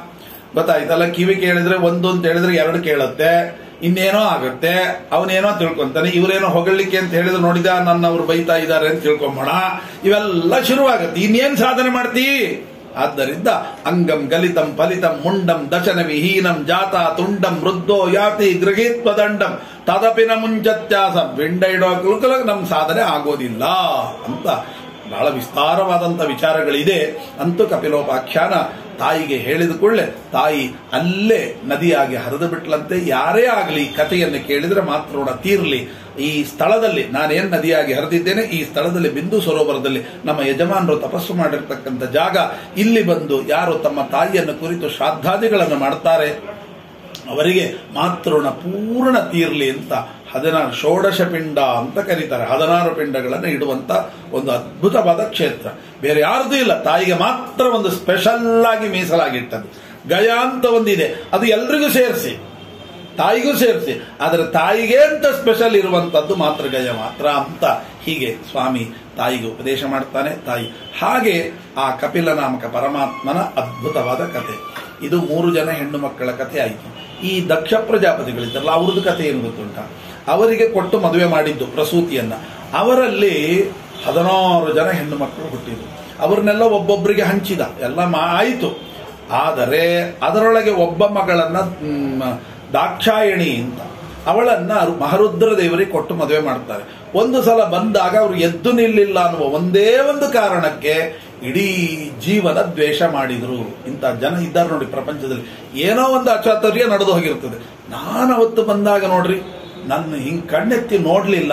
ಅದಕ್ಕೆ ಸಿಟ್ಟು ಅವ್ರು ಏನೋ ಪಾಪ ಟೆನ್ಷನ್ ಅಲ್ಲಿ ಇದ್ರು ಏನೋ, ಇವ್ರು ಬಂದಾಗ ಏನಪ್ಪ ಚೆನ್ನಾಗಿದೆ ಅಂತ ಮಾತಾಡಿದ್ರು, ಹೊರಟೋದ್ರು. ಅದನ್ನೇ ಜೀವನದ ಪೂರ್ತಿ ಸಾಧಿಸಿ ಬಿಟ್ರೆ ಯಾವತ್ತಿಗೂ ಕೂಡ ದ್ವೇಷ ಸಾಧಿಸುವ, ಹಠ ಸಾಧಿಸುವ ಸ್ವಭಾವವನ್ನ ಯಾರು ಜೀವನದಲ್ಲಿ ಬೆಳೆಸ್ಕೊಂತಾರೆ ಅವರ ಇಡೀ ಸಾಧನೆ ಹಾಳಾಗುತ್ತೆ. ನೀವೊಂದು ದ್ವೇಷ ಬೆಳೆಸ್ಕೊಂಡ್ರಿ ಅಂತ ಇಟ್ಕೊಳ್ಳಿ. ಅಷ್ಟು ಸಾಧನೆ ಕಟ್ಟ, ಎಷ್ಟು ಆ ದ್ವೇಷ ನಿಮ್ಮೊಳಗೆ ಎಷ್ಟು ದಿವಸ ಇರ್ತದೆ, ಅಷ್ಟು ದಿವಸದ ಸಾಧನೆ ಬರ್ನ್ ಆಗೋಯ್ತು. ನೋಡಿ, ಜೀವನದಲ್ಲಿ ಸಾಧನ ಶರೀರವಿದು ನೀದಯದಿ ಕೊಟ್ಟದ್ದು ಸಾಧಾರಣವಲ್ಲ. ಸಾಧು ಪ್ರಿಯನೆ ಇಂತಹ ಅದ್ಭುತವಾದ ಶರೀರವನ್ನು ಕೊಟ್ಟಾಗ ನಾವದನ್ನು ಉಪಯೋಗಿಸಬೇಕು ಅದಕ್ಕೆ ಪ್ರತಿಬಂಧಕ ಯಾವುದು? ಕಾಮ, ಕ್ರೋಧ, ಮೋಹ, ಲೋಭ, ಮದ, ಮಾತ್ಸರ್ಯ. ಅವುಗಳನ್ನು ಹತೋಟಿಯಲ್ಲಿ ಇಟ್ಟುಕೊಂಡು ಬೆಳೆಸ್ಕೋಬೇಕು. ಕೋಪ ಬಂತ, ಬಿಟ್ಟಾಕ್ರಿ ಅದನ್ನ. ನನಗೇನು ಆಗಿಲ್ಲ. ಬಿಡಿ ಯಾಕೆ ಹೋಗುತ್ತಾ? ಅಲ್ಲ ಬಿಟ್ರೆ ಏನ್ರಿ ಅವನು ಅವತ್ತು ಬೈದದ್ದು ಸುಮ್ಮನೆ ಹೋಗುತ್ತಾ? ನೋಡಿ ಬೈದದ್ದು ಸುಮ್ಮನೆ ಹೋಗಲ್ಲ. ನೀನು ಅದನ್ನೇ ಇಟ್ಟುಕೊಂಡ್ರೆ ಅಷ್ಟು ಎಷ್ಟೊತ್ತು ಕೋಪ ಇರುತ್ತೆ ಅಷ್ಟು ಸಾಧನೆ ಕಟ್ಟಾಯ್ತು. ಬಿಡೋದ್ರಿಂದ ಲಾಭ ಏನು ಗೊತ್ತಾ? ಬೈದದ್ದು ಹೋಗಲ್ಲ ಅದು ಬಿಟ್ಟು ಬಿಡ್ರಿ ಆದ್ರೆ ಅಷ್ಟು ಸಾಧನೆ ನಿಮ್ದು ಕೈ ತಪ್ಪಿ ಹೋಗುವುದಿಲ್ಲಲ್ಲ ಅದಕ್ಕಾಗಿ ಮಾಡ್ಕೊಳ್ಳಿ. ಅಂತ ಅದ್ಭುತವಾದ ಸಾ ಇದು ನೋಡಿ ಸಾಧನೆಯ ಮಾರ್ಗವನ್ನು ತಿಳಿಸಿಕೊಡ್ತಾರೆ. ಜೀವನದಲ್ಲಿ ಯಾವತ್ತಿಗೂ ಕೂಡ ಕಾಮಕ್ರೋಧಾದಿಗಳಿಗೆ ನಮ್ಮನ್ನ ಕೊಟ್ಕೋಬಾರ್ದು. ಅವು ನಾವು ಹೇಳಿದಾಗ ಕೇಳಬೇಕೇ ಹೊರತು, ಅವು ಹೇಳಿದಾಗ ನಾವು ಕೇಳಬಾರ್ದು. ಅದಕ್ಕೆ ನೋಡಿ, ಜ್ಞಾನಿಗಳು ನಮ್ಮನ್ನು ಕೇಳುವಾಗ ಹೇಗೆ ಹೇಳ್ತಾರೆ ಹೇಳಿ. ನಮ್ಮನ್ನು ಕೇಳುವಾಗ ಆರೋಗ್ಯವಾಗಿದ್ದೀರಾ ಅಂತ ಕೇಳ್ತಾರೆ. ಏನ್ರಿ ಆರೋಗ್ಯವಾಗಿದ್ದೀರಾ ಅಂದ್ರೆ ಏನ್ ನಾನು ರೋಗಿಷ್ಟನ ಕಾಣ್ತೀನಿ ನಿಮಗೆ? ಅದೇನು ನೀವು ಆರೋಗ್ಯ, ನೋಡಿದಾಗೆಲ್ಲ ನನ್ನ ಆರೋಗ್ಯವಾಗಿದ್ದೀರಾ ಅಂತ ಕೇಳ್ತಿರಲ್ಲ ಹಾಗಲ್ಲ ಅದರ ಸುಮ್ಮನೆ ಕೇಳೋ ಪದ್ಧತಿಯ ಕೇಳಿದ್ವಿ. ನೀವು ಆರೋಗ್ಯವಾಗೇ ಇದ್ದೀರಿ. ಕೇಳೋದು ಯಾಕಂದ್ರೆ ನೀವು ಅದೊಂದು ಕೇಳೋ ಪದ್ಧತಿ ಅಷ್ಟೇ. ನೋಡಿ, ನಾವು ಅರ್ಥ ಇಲ್ಲದೆ ಮಾತಾಡ್ತೇವೆ ಅಂತ ಅದರೊಳಗೆ ಗೊತ್ತಾಯ್ತು. ಜ್ಞಾನಿಗಳು ಹಾಗೆ ಹೇಳ್ತಾರೆ, ಗೊತ್ತಾ? ಏನ್ರಿ, ನೀವು ಹಂಗೆ ಕೇಳಿಬಿಟ್ರಲ್ಲ? ನಾನು ಹಂಗೆ ಕೇಳಿಲ್ಲ. ನನ್ನ, ನೀ ಆರೋಗ್ಯವಾಗಿದೆ ಮತ್ತೆ ನೀವು ಆರೋಗ್ಯವಾಗಿದೆ ಅಂತ ಕೇಳಿದ್ರು. ಅದರ ಅಭಿಪ್ರಾಯ ಏನು ಗೊತ್ತಾ? ಆರು ಯೋಗ್ಯವಾಗಿದೆಯಾ ಅಂತ. ನಿಮ್ಮ ಸಾಧನೆಗೆ ಪ್ರತಿಬಂಧಕವಾದ ಆರು ಉಂಟಲ್ವಾ? ಕಾಮ, ಕ್ರೋಧ, ಮೋಹ, ಲೋಭ, ಮದ, ಮಾತ್ಸರ್ಯ, ಅದು ಯೋಗ್ಯವಾಗಿದೆಯಾ? ಅಥವಾ ಅದು ಹೇಳಿದ ಹಾಗೆ ಕುಣಿತಾ ಇದ್ದೀರಾ? ಅಂತ ದೊಡ್ಡವರು ಕೇಳೋ ಪ್ರಶ್ನೆ. ಆರು ಯೋಗ್ಯವಾಗಿದೆಯಾ ಅಂತ. ಅದನ್ನು ಕೂಡಿಸುವಾಗ ಆರೋಗ್ಯವಾಗಿದೆಯಾ? ನಮಗೆ ಅರ್ಥವೇ ಆಗಲ್ಲ ಅದೇನೋ ಕೇಳ್ತಾ ಇದ್ದಾರೆ. ಯಾಕೆ ನಮಗೆ ಆ ದೃಷ್ಟಿಯಲ್ಲೇ ಆಲೋಚನೆ ಮಾಡಿ ಅಭ್ಯಾಸ ಹೊರತು ದೊಡ್ಡವರು ಒಂದು ಅರ್ಥಪೂರ್ಣವಾದ ಮಾತಾಡ್ತಾರೆ ಅಂತ ಕಲ್ಪನೆನೇ ಇಲ್ಲ. ದೊಡ್ಡವರು ಏನೇ ಮಾತಾಡಬೇಕಾದ್ರೂ ಅದಕ್ಕೊಂದು ಹೊಸ ಅರ್ಥ ಇರ್ತದೆ. ಆಳವಾಗಿ ಮಾತಾಡ್ತಾರೆ ಅನ್ನೋ ಕಲ್ಪನೆ ಬೆಳೆಸ್ಕೊಂಡ್ರೆ ಈಗ ಅದು ಯಾವಾಗ ಗೊತ್ತಾಗುತ್ತೆ? ಪುರಾಣಾದಿಗಳಲ್ಲಿ ಶಬ್ದಗಳಿಗೆ ಮೇಲ್ನೋಟ ಅರ್ಥ ಅಲ್ಲ, ಒಳಗಡೆ ಒಂದು ಅರ್ಥ ಇದೆ ಅಂತ ತಿಳ್ಕೊಳ್ಳೋ ಪ್ರಯತ್ನ ಮಾಡಿದ್ರೆ ಆಗ ದೊಡ್ಡವರ ಮಾತನ್ನ ನಾವು ಅರ್ಥ ಮಾಡ್ಕೊಳ್ಳೋ ಶಕ್ತಿ ಬರ್ತದೆ. ನಾವು ಯಾವತ್ತೂ ಈ ಪುರಾಣಕ್ಕೆ ಅರ್ಥವೇ ಮಾಡಿಲ್ಲ. ನಮಗೆ ಬಾ ಅಂದ್ರೆ ಎಲ್ಲಿಂದ ಬರುತ್ತೆ? ಇವೆಲ್ಲ ದೊಡ್ಡ ವಿಚಾರಗಳನ್ನ ಹೇಳ್ತಾ ಹೋಗ್ತಾರೆ. ಆಗ ಆ ದ್ವೇಷ ಮಾಡಿದ್ದಕ್ಕಾಗಿ ದಾಕ್ಷಾಯಿಣಿ ಏನ್ ಮಾಡ್ತಾಳೆ? ಎಲ್ಲರೂ ಹೋಗ್ತಾ ಇರೋದು ವಿಚಾರವನ್ನು ಕೇಳಿ. ಮಹರುದ್ರ ದೇವರು ಕಥೆಯೆಲ್ಲ ಗೊತ್ತಿದೆ. ದಕ್ಷ ಪ್ರಜಾಪತಿ ಯಜ್ಞ ಮಾಡಿದ್ರು, ಆಗ ದಾಕ್ಷಾಯಣಿ ಹೋದ್ಲು ಅವಮಾನ ಆಯಿತು, ದೇಹತ್ಯಾಗ ಮಾಡಿಬಿಟ್ರು ಅಂತ. ಇದೆಲ್ಲ ಕಥೆ. ಆಗ ರುದ್ರದೇವರು ಬಂದರು, ಜಟೆಯನ್ನು ಅಪ್ಪಳಿಸಿದ್ರು, ವೀರಭದ್ರ ಬಂದ, ದಕ್ಷ ಪ್ರಜಾಪತಿಯ ತಲೆ ತೆಗೆದ್ರು, ಮೇಕೆ ತಲೆ ತಂದು ಜೋಡಿಸಿದ್ರು, ಇತ್ಯಾದಿ ಕಥೆಗಳು. ಒಳಗಿನ ತತ್ವ ತಿಳಿದು ಬಿಡೋಣ ಯಾಕಂದ್ರೆ ಆ ಇನ್ನೊಂದು ಕಥೆಯ ತತ್ವವನ್ನು ತಿಳಿಲಿಕ್ಕೆ ಅವಕಾಶ ಸಿಗುತ್ತೆ. ಬರೀ ಕಥೆನೇ ಹೇಳ್ತಾ ಹೋಗ್ಬಿಟ್ರೆ ಮುಂದೆ ಅರ್ಥ ಆಗೋದಿಲ್ಲ. ತತ್ವ ಏನು ಅಂದ್ರೆ ಕತೆ ಗೊತ್ತಿದ್ದದ್ದರಿಂದ ದಾಕ್ಷ ಈಗ ಮಹಾರುದ್ರ ದೇವರು ಯಾರು? ಸುಮ್ಮನೆ ನಿಮ್ಗೆ ತತ್ವವನ್ನು ತಿಳಿಸ್ತಾನೆ. ಹೆಂಗ ತತ್ವ ಕಥೆಯನ್ನು ಅರ್ಥ ಮಾಡ್ಕೋಬೇಕು ಅನ್ಲಿಕ್ಕೆ? ರುದ್ರದೇವರು ಯಾರು? ಅಂದ್ರೆ ಮನೋನಿಯಾಮಕರು. ಇದು ಜಗತ್ ಪ್ರಸಿದ್ಧವಾದ ಮಾತು. ನಮ್ಮ ಶಾಸ್ತ್ರ ಶ್ರೀಮದ್ ಆಚಾರ್ಯ ಹೇಳೋದು ಮನೋನಿಯಾಮಕರು ರುದ್ರದೇವರು. ಅಂದ್ರೆ ನಿಯಾಮಕರು ಅಂದ್ರೆ ಏನು? ಎಲ್ಲರ ಮನಸ್ಸನ್ನ ತಿಳಿದುಕೊಂಡವರು ಮತ್ತು ನಿಯಂತ್ರಿಸುವವರು. ಎರಡು ಅರ್ಥದಲ್ಲಿ ಮನೋನಿಯಾಮಕರು ಅಂತ ಕರೀತೇವೆ. ಹಾಗಾದ್ರೆ ಎಲ್ಲರ ಮನಸ್ಸಿನಲ್ಲಿ ಏನು ಉಂಟು ಅಂತ ಗೊತ್ತಲ್ಲ ಗೊತ್ತು. ಹಾಗಾದ್ರೆ ಮುಂದೆ ಏನಾಗುತ್ತೆ ಅಂತ ಗೊತ್ತಿರಬೇಕಲ್ವಾ? ಗೊತ್ತು. ಹಾಗಾದ್ರೆ ನಮ್ಮ ಪ್ರಶ್ನೆ ಇಷ್ಟೇ. ಮಹರುದ್ರ ದೇವರಿಗೆ ನನ್ನ ದಾಕ್ಷಾಯಿಣಿ ಅಲ್ಲಿಗೆ ಹೋದ್ರೆ ತಂದೆಯಿಂದ ಅವಮಾನಿತಳಾಗಿ ಅಲ್ಲೇ ದೇಹತ್ಯಾಗ ಮಾಡ್ತಾಳೆ, ಪ್ರಾಣ ಹೋಗುತ್ತೆ. ಈಗ ನಾನು ಕಳಿಸಿದ್ರೆ ಪ್ರಾಣಕ್ಕೆ ಕುತ್ತು ಅನ್ನುವ ವಿಚಾರ ಮಹರುದ್ರ ದೇವರಿಗೆ ಗೊತ್ತುಂಟೋ ಇಲ್ವೋ? ಗೊತ್ತು, ಗೊತ್ತಿದ್ದು ಯಾಕೆ ಕಳಿಸಿದ್ರೆ? ಆಗ ಸಾಯಿಲಿಂತ ಅರ್ಥವ? ಅಂತ ಪ್ರಶ್ನೆ ನೋಡಿದ್ರೆ ಅದಕ್ಕೆ ಉತ್ತರ ಕೊಡ್ತಾರೆ ಗೊತ್ತಿದ್ದೇ ಕಳಿಸಿದ್ದು. ಅದು ಹೆಂಗ್ರಿ ಗೊತ್ತಿದ್ದು ಕಂಟ್ರೋಲ್ ಮಾಡಬಹುದಾಗ ತಾವೇ ಮನೋನಿಯಾಮಕರು. ಬೇಡಮ್ಮ ಅಂತ ಕಂಟ್ರೋಲ್ ಮಾಡಿದ್ರೆ ಇರ್ತಿದ್ರಲ್ಲ. ಅದು ಯಾಕೆ ಸುಮ್ಮನೆ ಕೂತರು? ಯಾಕೆ ಅಂದ್ರೆ ಮಹರುದ್ರ ದೇವರು ಮನೋನಿಯಾಮಕರು ಎಷ್ಟು ಹೌದೋ ಅಷ್ಟೇ ಭಗವಂತನ ಆಜ್ಞೆಯನ್ನು ಎಂದೆಂದೂ ಉಲ್ಲಂಘನೆ ಮಾಡದಿರುವವರು ಭಗವಂತನ ಸಂಕಲ್ಪಕ್ಕೆ ವಿರುದ್ಧವಾಗಿ ನಡ್ಕೊಳ್ಳೋರಲ್ಲ. ಅದನ್ನು ಬ್ರಾಕೆಟ್ನಲ್ಲಿ ಇಟ್ಕೊಳ್ಳಿ. ಏನು ಸಂಕಲ್ಪ? ದಾಕ್ಷಾಯಣಿಯ ಆಯುಷ್ಯ ಮುಗೀತು. ಮುಗೀತು ಅವಳು ಅವತಾರ ಬಂದ ಕೆಲಸ ಮುಗೀತು. ಅವಳು ಹೋಗಬೇಕಾದ್ದೇ ಹರಿ ಇಚ್ಛ. ಈಗ ಹೋಗ್ತಾಳೆ. ಅದಕ್ಕೆ ತಾವು ಏನು ಗೊತ್ತಿಲ್ಲದ ಸುಮ್ಮನೆ ಅಲ್ರಿ, ನೀವು ಹಾಗೆ ಹೇಳೋದಾದ್ರೆ ನಾವು ಹಿಂಗೆ ಹೇಳ್ತೀವಿ. ಏನು ಅಂತ ಅಲ್ಲ, ಹೋಗೋದು ಅಂತ ಗೊತ್ತಲ್ವಾ? ಈಗ ಅಲ್ಲೆಲ್ಲ ಹೋಗೋದಕ್ಕಿಂತ ಇಲ್ಲೇ ಹೋಗ್ಬಿಟ್ಟಿದ್ರೆ, ತಮ್ಮ ಹತ್ರನೇ ಇದ್ದಿದ್ರೆ ಇನ್ನು ಅವಳು ಉದ್ಧಾರ ಆಗ್ತಿತ್ತಲ್ಲ, ಅದ್ಯಾಕೆ ನೀವು ಬಿಟ್ಕೊಟ್ರಿ? ಅಂತ ಕೇಳಿದ್ರೆ ಅದಕ್ಕೆ ಉತ್ತರ ಕೊಡ್ತಾರೆ, ಹಾಗಲ್ಲ. ಈಗ ಹೋಗೋದೇ ಖರೆ. ಒಂದು ಇಲ್ಲಿದ್ದಾಗಲೂ ಹೋಗೋಳೆ ಅವಳು. ಕೊರಗೆ ಕೊರಗೆ ಸತ್ತೋಗ್ತಾಳೆ. ಇನ್ನು ಅಲ್ಲಿದ್ರು ಅವಮಾನದಿಂದ ಸಾಯ್ತಿದ್ರು ಎರಡು ಸಾಯೋದು ಖರೆ. ಅದನ್ನು ಮತ್ತೆ ಅಲ್ಲಿ ಯಾಕೆ ಬಿಟ್ರಿ? ಯಾಕೆ ಬಿಟ್ರಿ ಅಂದ್ರೆ, ಈಗ ಮೊದಲೇ ದಕ್ಷ ಪ್ರಜಾಪತಿಗಳು ನನ್ನ ಮೇಲೆ ಕೆಂಡ ಕರ್ತಾ ಇದ್ದಾರೆ. ಈಗೇನಾದ್ರೂ ಅವಳು ಕೊರಗೆ, ಅವಳಾಗೆ ಕೊರಗೆ ಸತ್ತದ್ದು. ಸತ್ತರೆ ಅವ್ರು ಇನ್ನೊಂದು, ಅವರಿಗೆ ಇನ್ನೊಂದು ಕೊಂಬು ಸಿಗ್ತದೆ. ಅವ್ರಿಗೆ ಏನ್ ಗೊತ್ತುಂಟ? ನನ್ನ ಮೇಲಿನ ಕೋಪದಿಂದ ನನ್ನ ಮಗಳನ್ನು ಕೊಂದು ಹಾಕಿಬಿಟ್ರು. ನನ್ನ ಮಗಳ ಕೊಲೆಗೆ ಕಾರಣ ರುದ್ರದೇವರೇ ಅಂತ ಹೇಳಿ ಮತ್ತೊಂದು ಆಪಾದನೆ ಬರುವ ಪ್ರಸಂಗ ಇತ್ತು. ಈಗ ಆ ಆಪಾದನೆ ಬರುವ ಪ್ರಸಂಗ ಇಲ್ಲ. ಸಾಯೋದೇ ಕರೆ. ಅಲ್ಲೇ ಸತ್ತು ಬಿಟ್ರೆ ನನ್ನ ಮೇಲೆ ಅಪವಾದ ಹಾಕೋದು ಉಳಿದೋಯ್ತು. ಅಂತನ್ನುವುದಕ್ಕಾಗಿ ಮಹರುದ್ರ ದೇವರು ಹೋಗಲಿಕ್ಕೆ ಬಿಟ್ರು. ಒಂದು. ಇನ್ನು ಎರಡನೇದು, ಅಲ್ಲಿ ಹೋದ ಮೇಲೆ ಅವಳು ದೇಹತ್ಯಾಗ ಮಾಡಿದ್ಲಲ್ಲ. ಹಾಗಾದ್ರೆ ಜಗತ್ತಿಗೆ ಏನು ಸಂದೇಶ ಕೊಟ್ಟರು ತಂದೆಯ ಮನೆಗೆ ಅಥವಾ ಇನ್ನೊಬ್ಬರ ಮನೆಗೆ ಹೋದಾಗ ಅಲ್ಲಿ ಅವಮಾನ ಆದರೆ ಆತ್ಮಹತ್ಯೆ ಮಾಡ್ಕೋಬಹುದು ಅಂತ ಒಂದು ಸಂದೇಶ ಜಗತ್ತಿಗೆ. ಮತ್ತೆ ಈ ಕಥೆಗೆ ಅರ್ಥ ಏನು? ಈಗ ಅಲ್ಲಿ ಹೋದಾಗ ಅವಮಾನ ಆಯಿತು. ಅದಕ್ಕೆ ದೇಹತ್ಯಾಗ ಮಾಡಿದ್ದು ಹಾಗೆ ನಾವು ಕೂಡ ಎಲ್ಲಾದರೂ ಅವಮಾನ ಆದ್ರೆ ದೇಹತ್ಯಾಗ ಮಾಡ್ಕೊಳ್ಳುವ ಆತ್ಮಹತ್ಯೆ ಮಾಡಿಕೊಳ್ಳುವಂಥದ್ದು ಸುಸೈಡ್ ಅಂತ ಏನು ಹೇಳ್ತಾರೆ. ಅದ್ರ ಮಾಡ್ಕೋಬಹುದು ಹಾಗಾದ್ರೆ? ಯಾಕಂದ್ರೆ ದಾಕ್ಷಾಯಿಣಿಯೇ ನಮಗೆ ಮಾರ್ಗದರ್ಶಕಳಲ್ವಾ? ಬುದ್ಧಿಗಭಿಮಾನಿ ಉಮೆ ಅಲ್ವಾ? ಹಾಗಾದ್ರೆ ಬುದ್ಧಿಗೆ ಅವಳು ಹೇಳ್ಕೊಟ್ಟ ಮಾರ್ಗ ಏನು? ಹೀಗೆ ಅವಮಾನ ಆದರೆ ದೇಹತ್ಯಾಗ ಮಾಡಿಬಿಡಿ. ಹಾಗಾದ್ರೆ ಜೀವನದಲ್ಲಿ ಎಷ್ಟು ಕಡೆ ನಡೀತದೆ? ಹಾಗಾದ್ರೆ ಇದಕ್ಕೇನರ್ಥ? ಬಹಳ ದೊಡ್ಡ ತತ್ವಗಳು. ಅದಕ್ಕೆ ಹೇಳೋದು, ಶ್ರೀಮದಾಚಾರ್ಯರ ಗ್ರಂಥಗಳನ್ನ, ಬೇರೆ ಬೇರೆ ಪುರಾಣಗಳನ್ನ ಇಟ್ಟುಕೊಂಡು ಅರ್ಥೈಸಿದಾಗ ಮಾತ್ರ ಪುರಾಣ ಅರ್ಥ ಆಗುತ್ತೆ. ಸುಮ್ಮನೆ ನಾನೇನೋ ಇದೆ ಅಂತ ತಿಳ್ಕೊಂಡು ಓದ್ತಾ ಹೋದ್ರೆ ಯಾವುದು ಅರ್ಥ ಆಗೋದಿಲ್ಲ. ಆಗ ಅಲ್ಲಿ ಬರೀತಾರೆ, ನೋಡಿ, ಆತ್ಮಹತ್ಯೆ ಸರ್ವತಾ ಕೂಡೋದಿಲ್ಲ. ಮತ್ತೆ ಹಾಗಾದ್ರೆ ಯಾಕೆ? ಅಂದ್ರೆ ಧರ್ಮಶಾಸ್ತ್ರದಲ್ಲಿ ಒಂದು ನಿಯಮ ಇದೆ. ಏನು?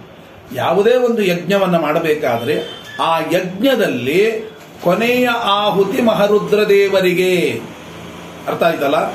ರುದ್ರದೇವರಿಗೆ ಆಹುತಿ ಕೊಡದೆ ಯಜ್ಞ ಮಾಡುವ ಹಾಗಿಲ್ಲ. ಆಹುತಿ ಕೊಡಬೇಕು. ರುದ್ರದೇವರಿಗೆ ಆಹುತಿ ಕೊಟ್ಟೆ ಯಜ್ಞ ಸಮಾಪ್ತಿ. ಯಾವುದೇ ಆಹುತಿ ಕೊಡಿ.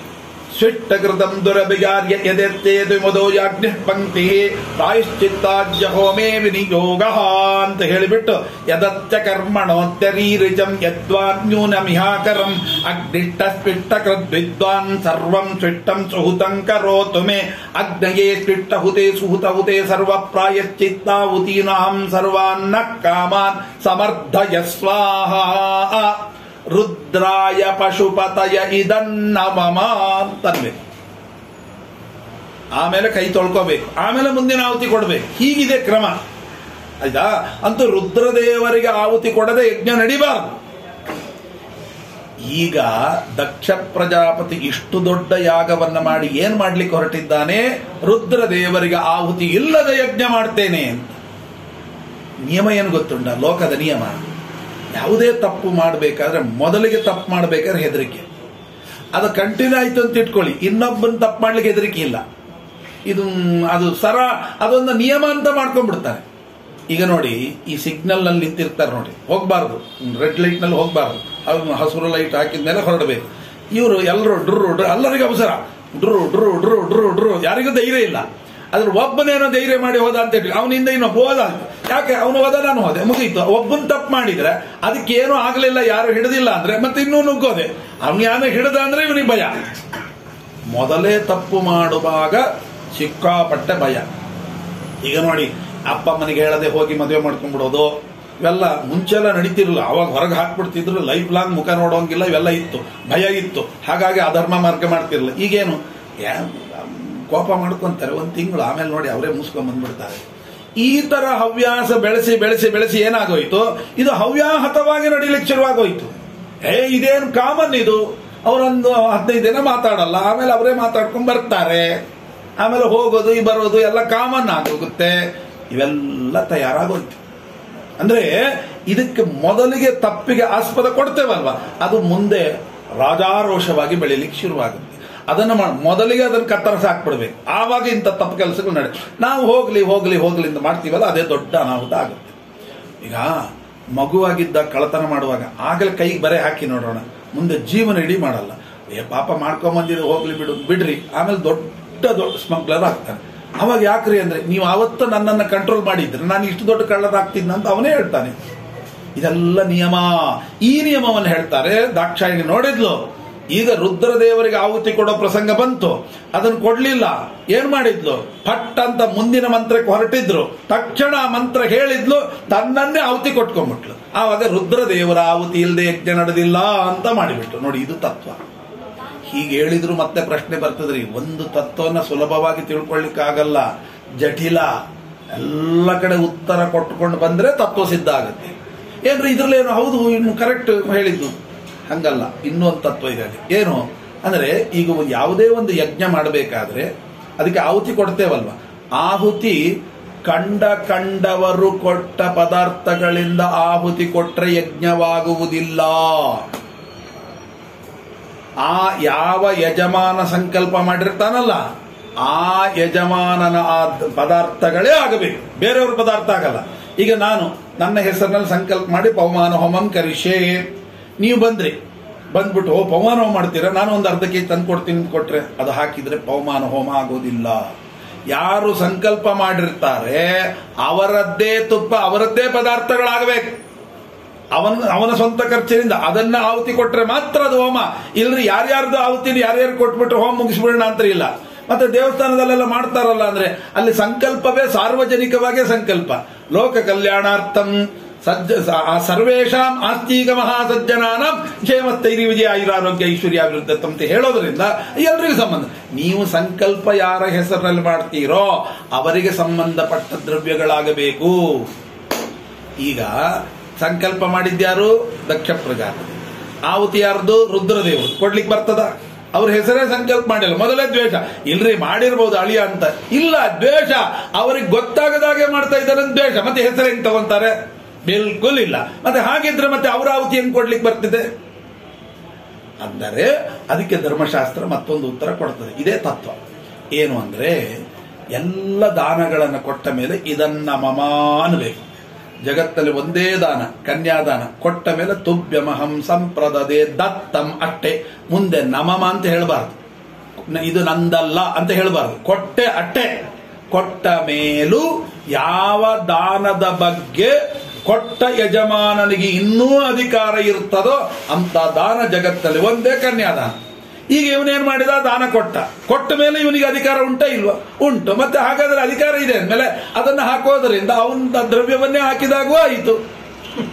ತಪ್ಪೆಲ್ಲಿದೆ ಆದ್ದರಿಂದ ಇಲ್ಲಿ ಏನ್ ಮಾಡಿದ್ರು? ದಾಕ್ಷಾಯಣಿ ಇದು ಆತ್ಮಹತ್ಯೆ ಅಲ್ಲ, ರುದ್ರದೇವರಿಗೆ ಆಹುತಿ. ಆತ್ಮಹತ್ಯೆ ಅಂದ್ರೆ ಏನ್ ಗೊತ್ತುಂಟ? ಸೀಮೆಣ್ಣೆ ಹಾಕೊಂಡು ಕಡ್ಡಿಗೀರಿ ಹಚ್ಕೊಂಡ್ರೆ ಆತ್ಮಹತ್ಯೆ.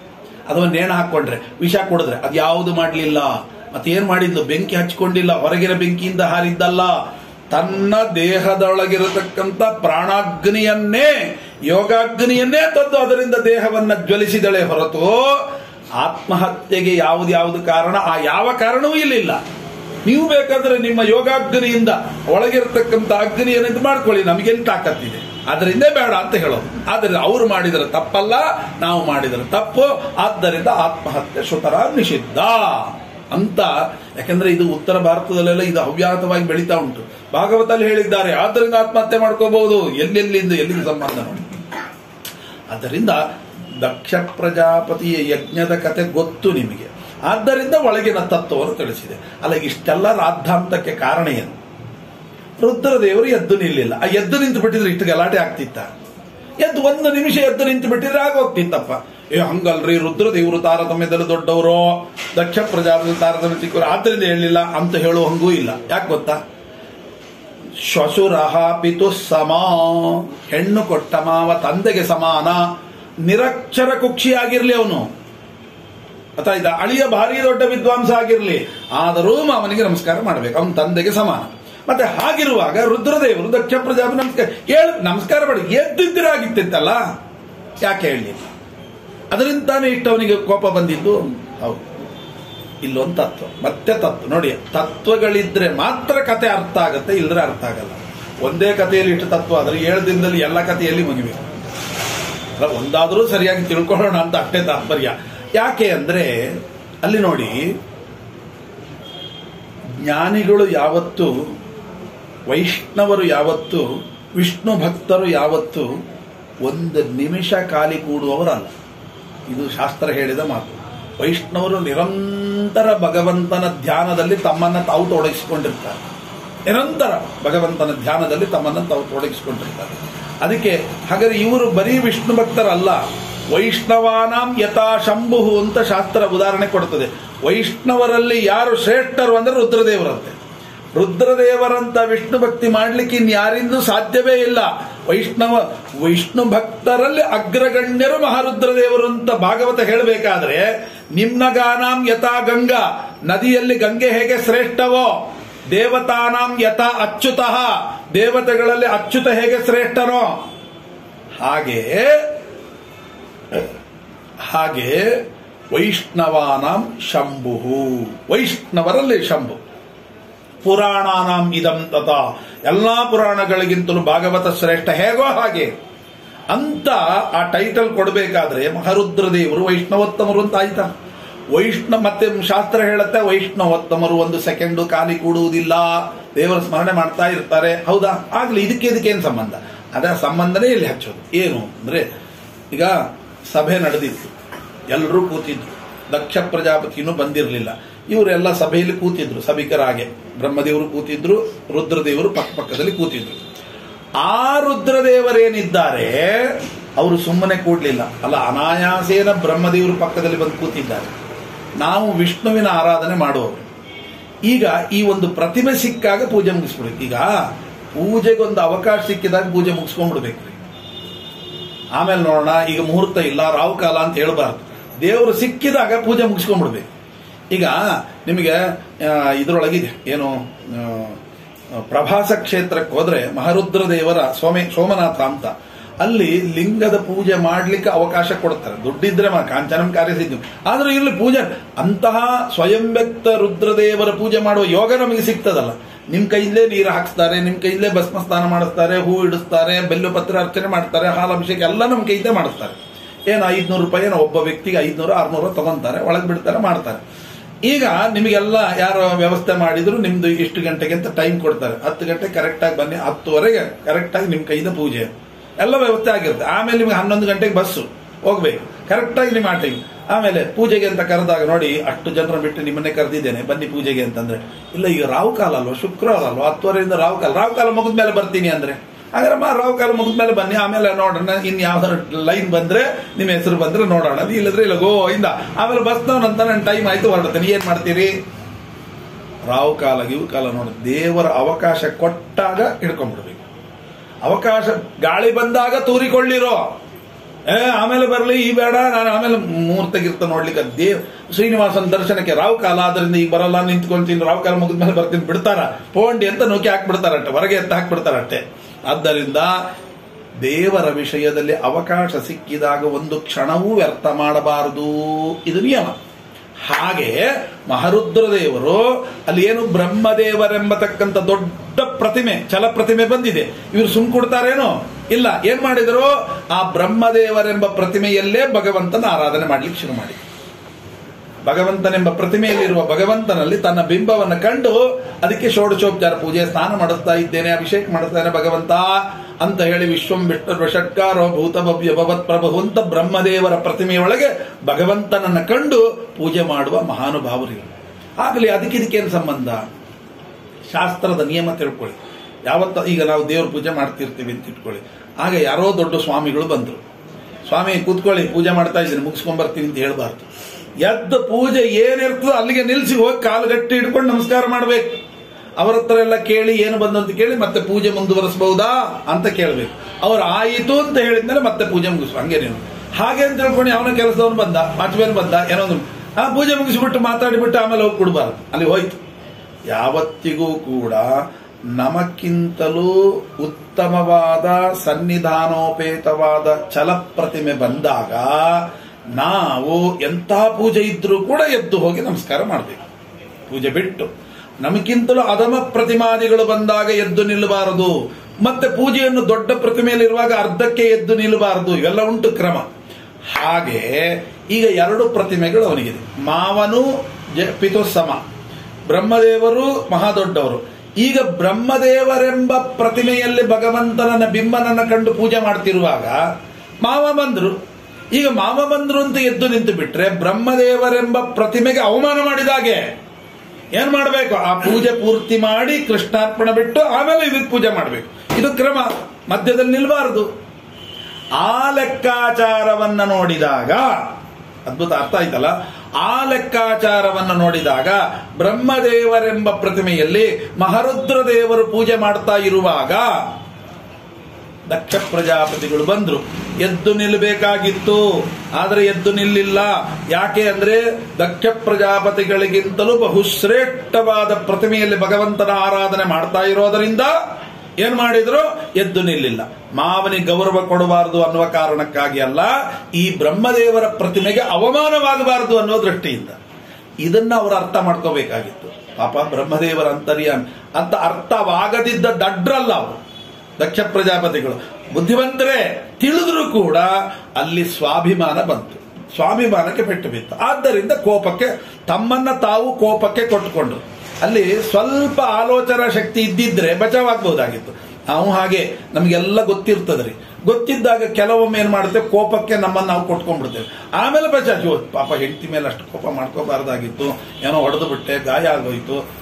ಗಾಯ ಮಾಡಬೇಕು ಅಂತ ಇವನಿಗಿರಲ್ಲ ಬೈಬೇಕು ಅಂತ ಕೂಡ ಇರಲ್ಲ. ಏನೋ ಕೋಪ ಕೊಟ್ಬಿಟ್ಟು ಏನ್ ಮಾಡ್ತೀನಿ ಅಂತ ಕೂಡ ಗೊತ್ತಿಲ್ಲ. ಇನ್ ಅರ್ಥ ಆಗುತ್ತೆ. ಇದು ಅಪರಾಧ, ಸಾಧನ. ಕೋಪಾತ್ ಪಾಪಸ್ಯ ಕಾರಣ.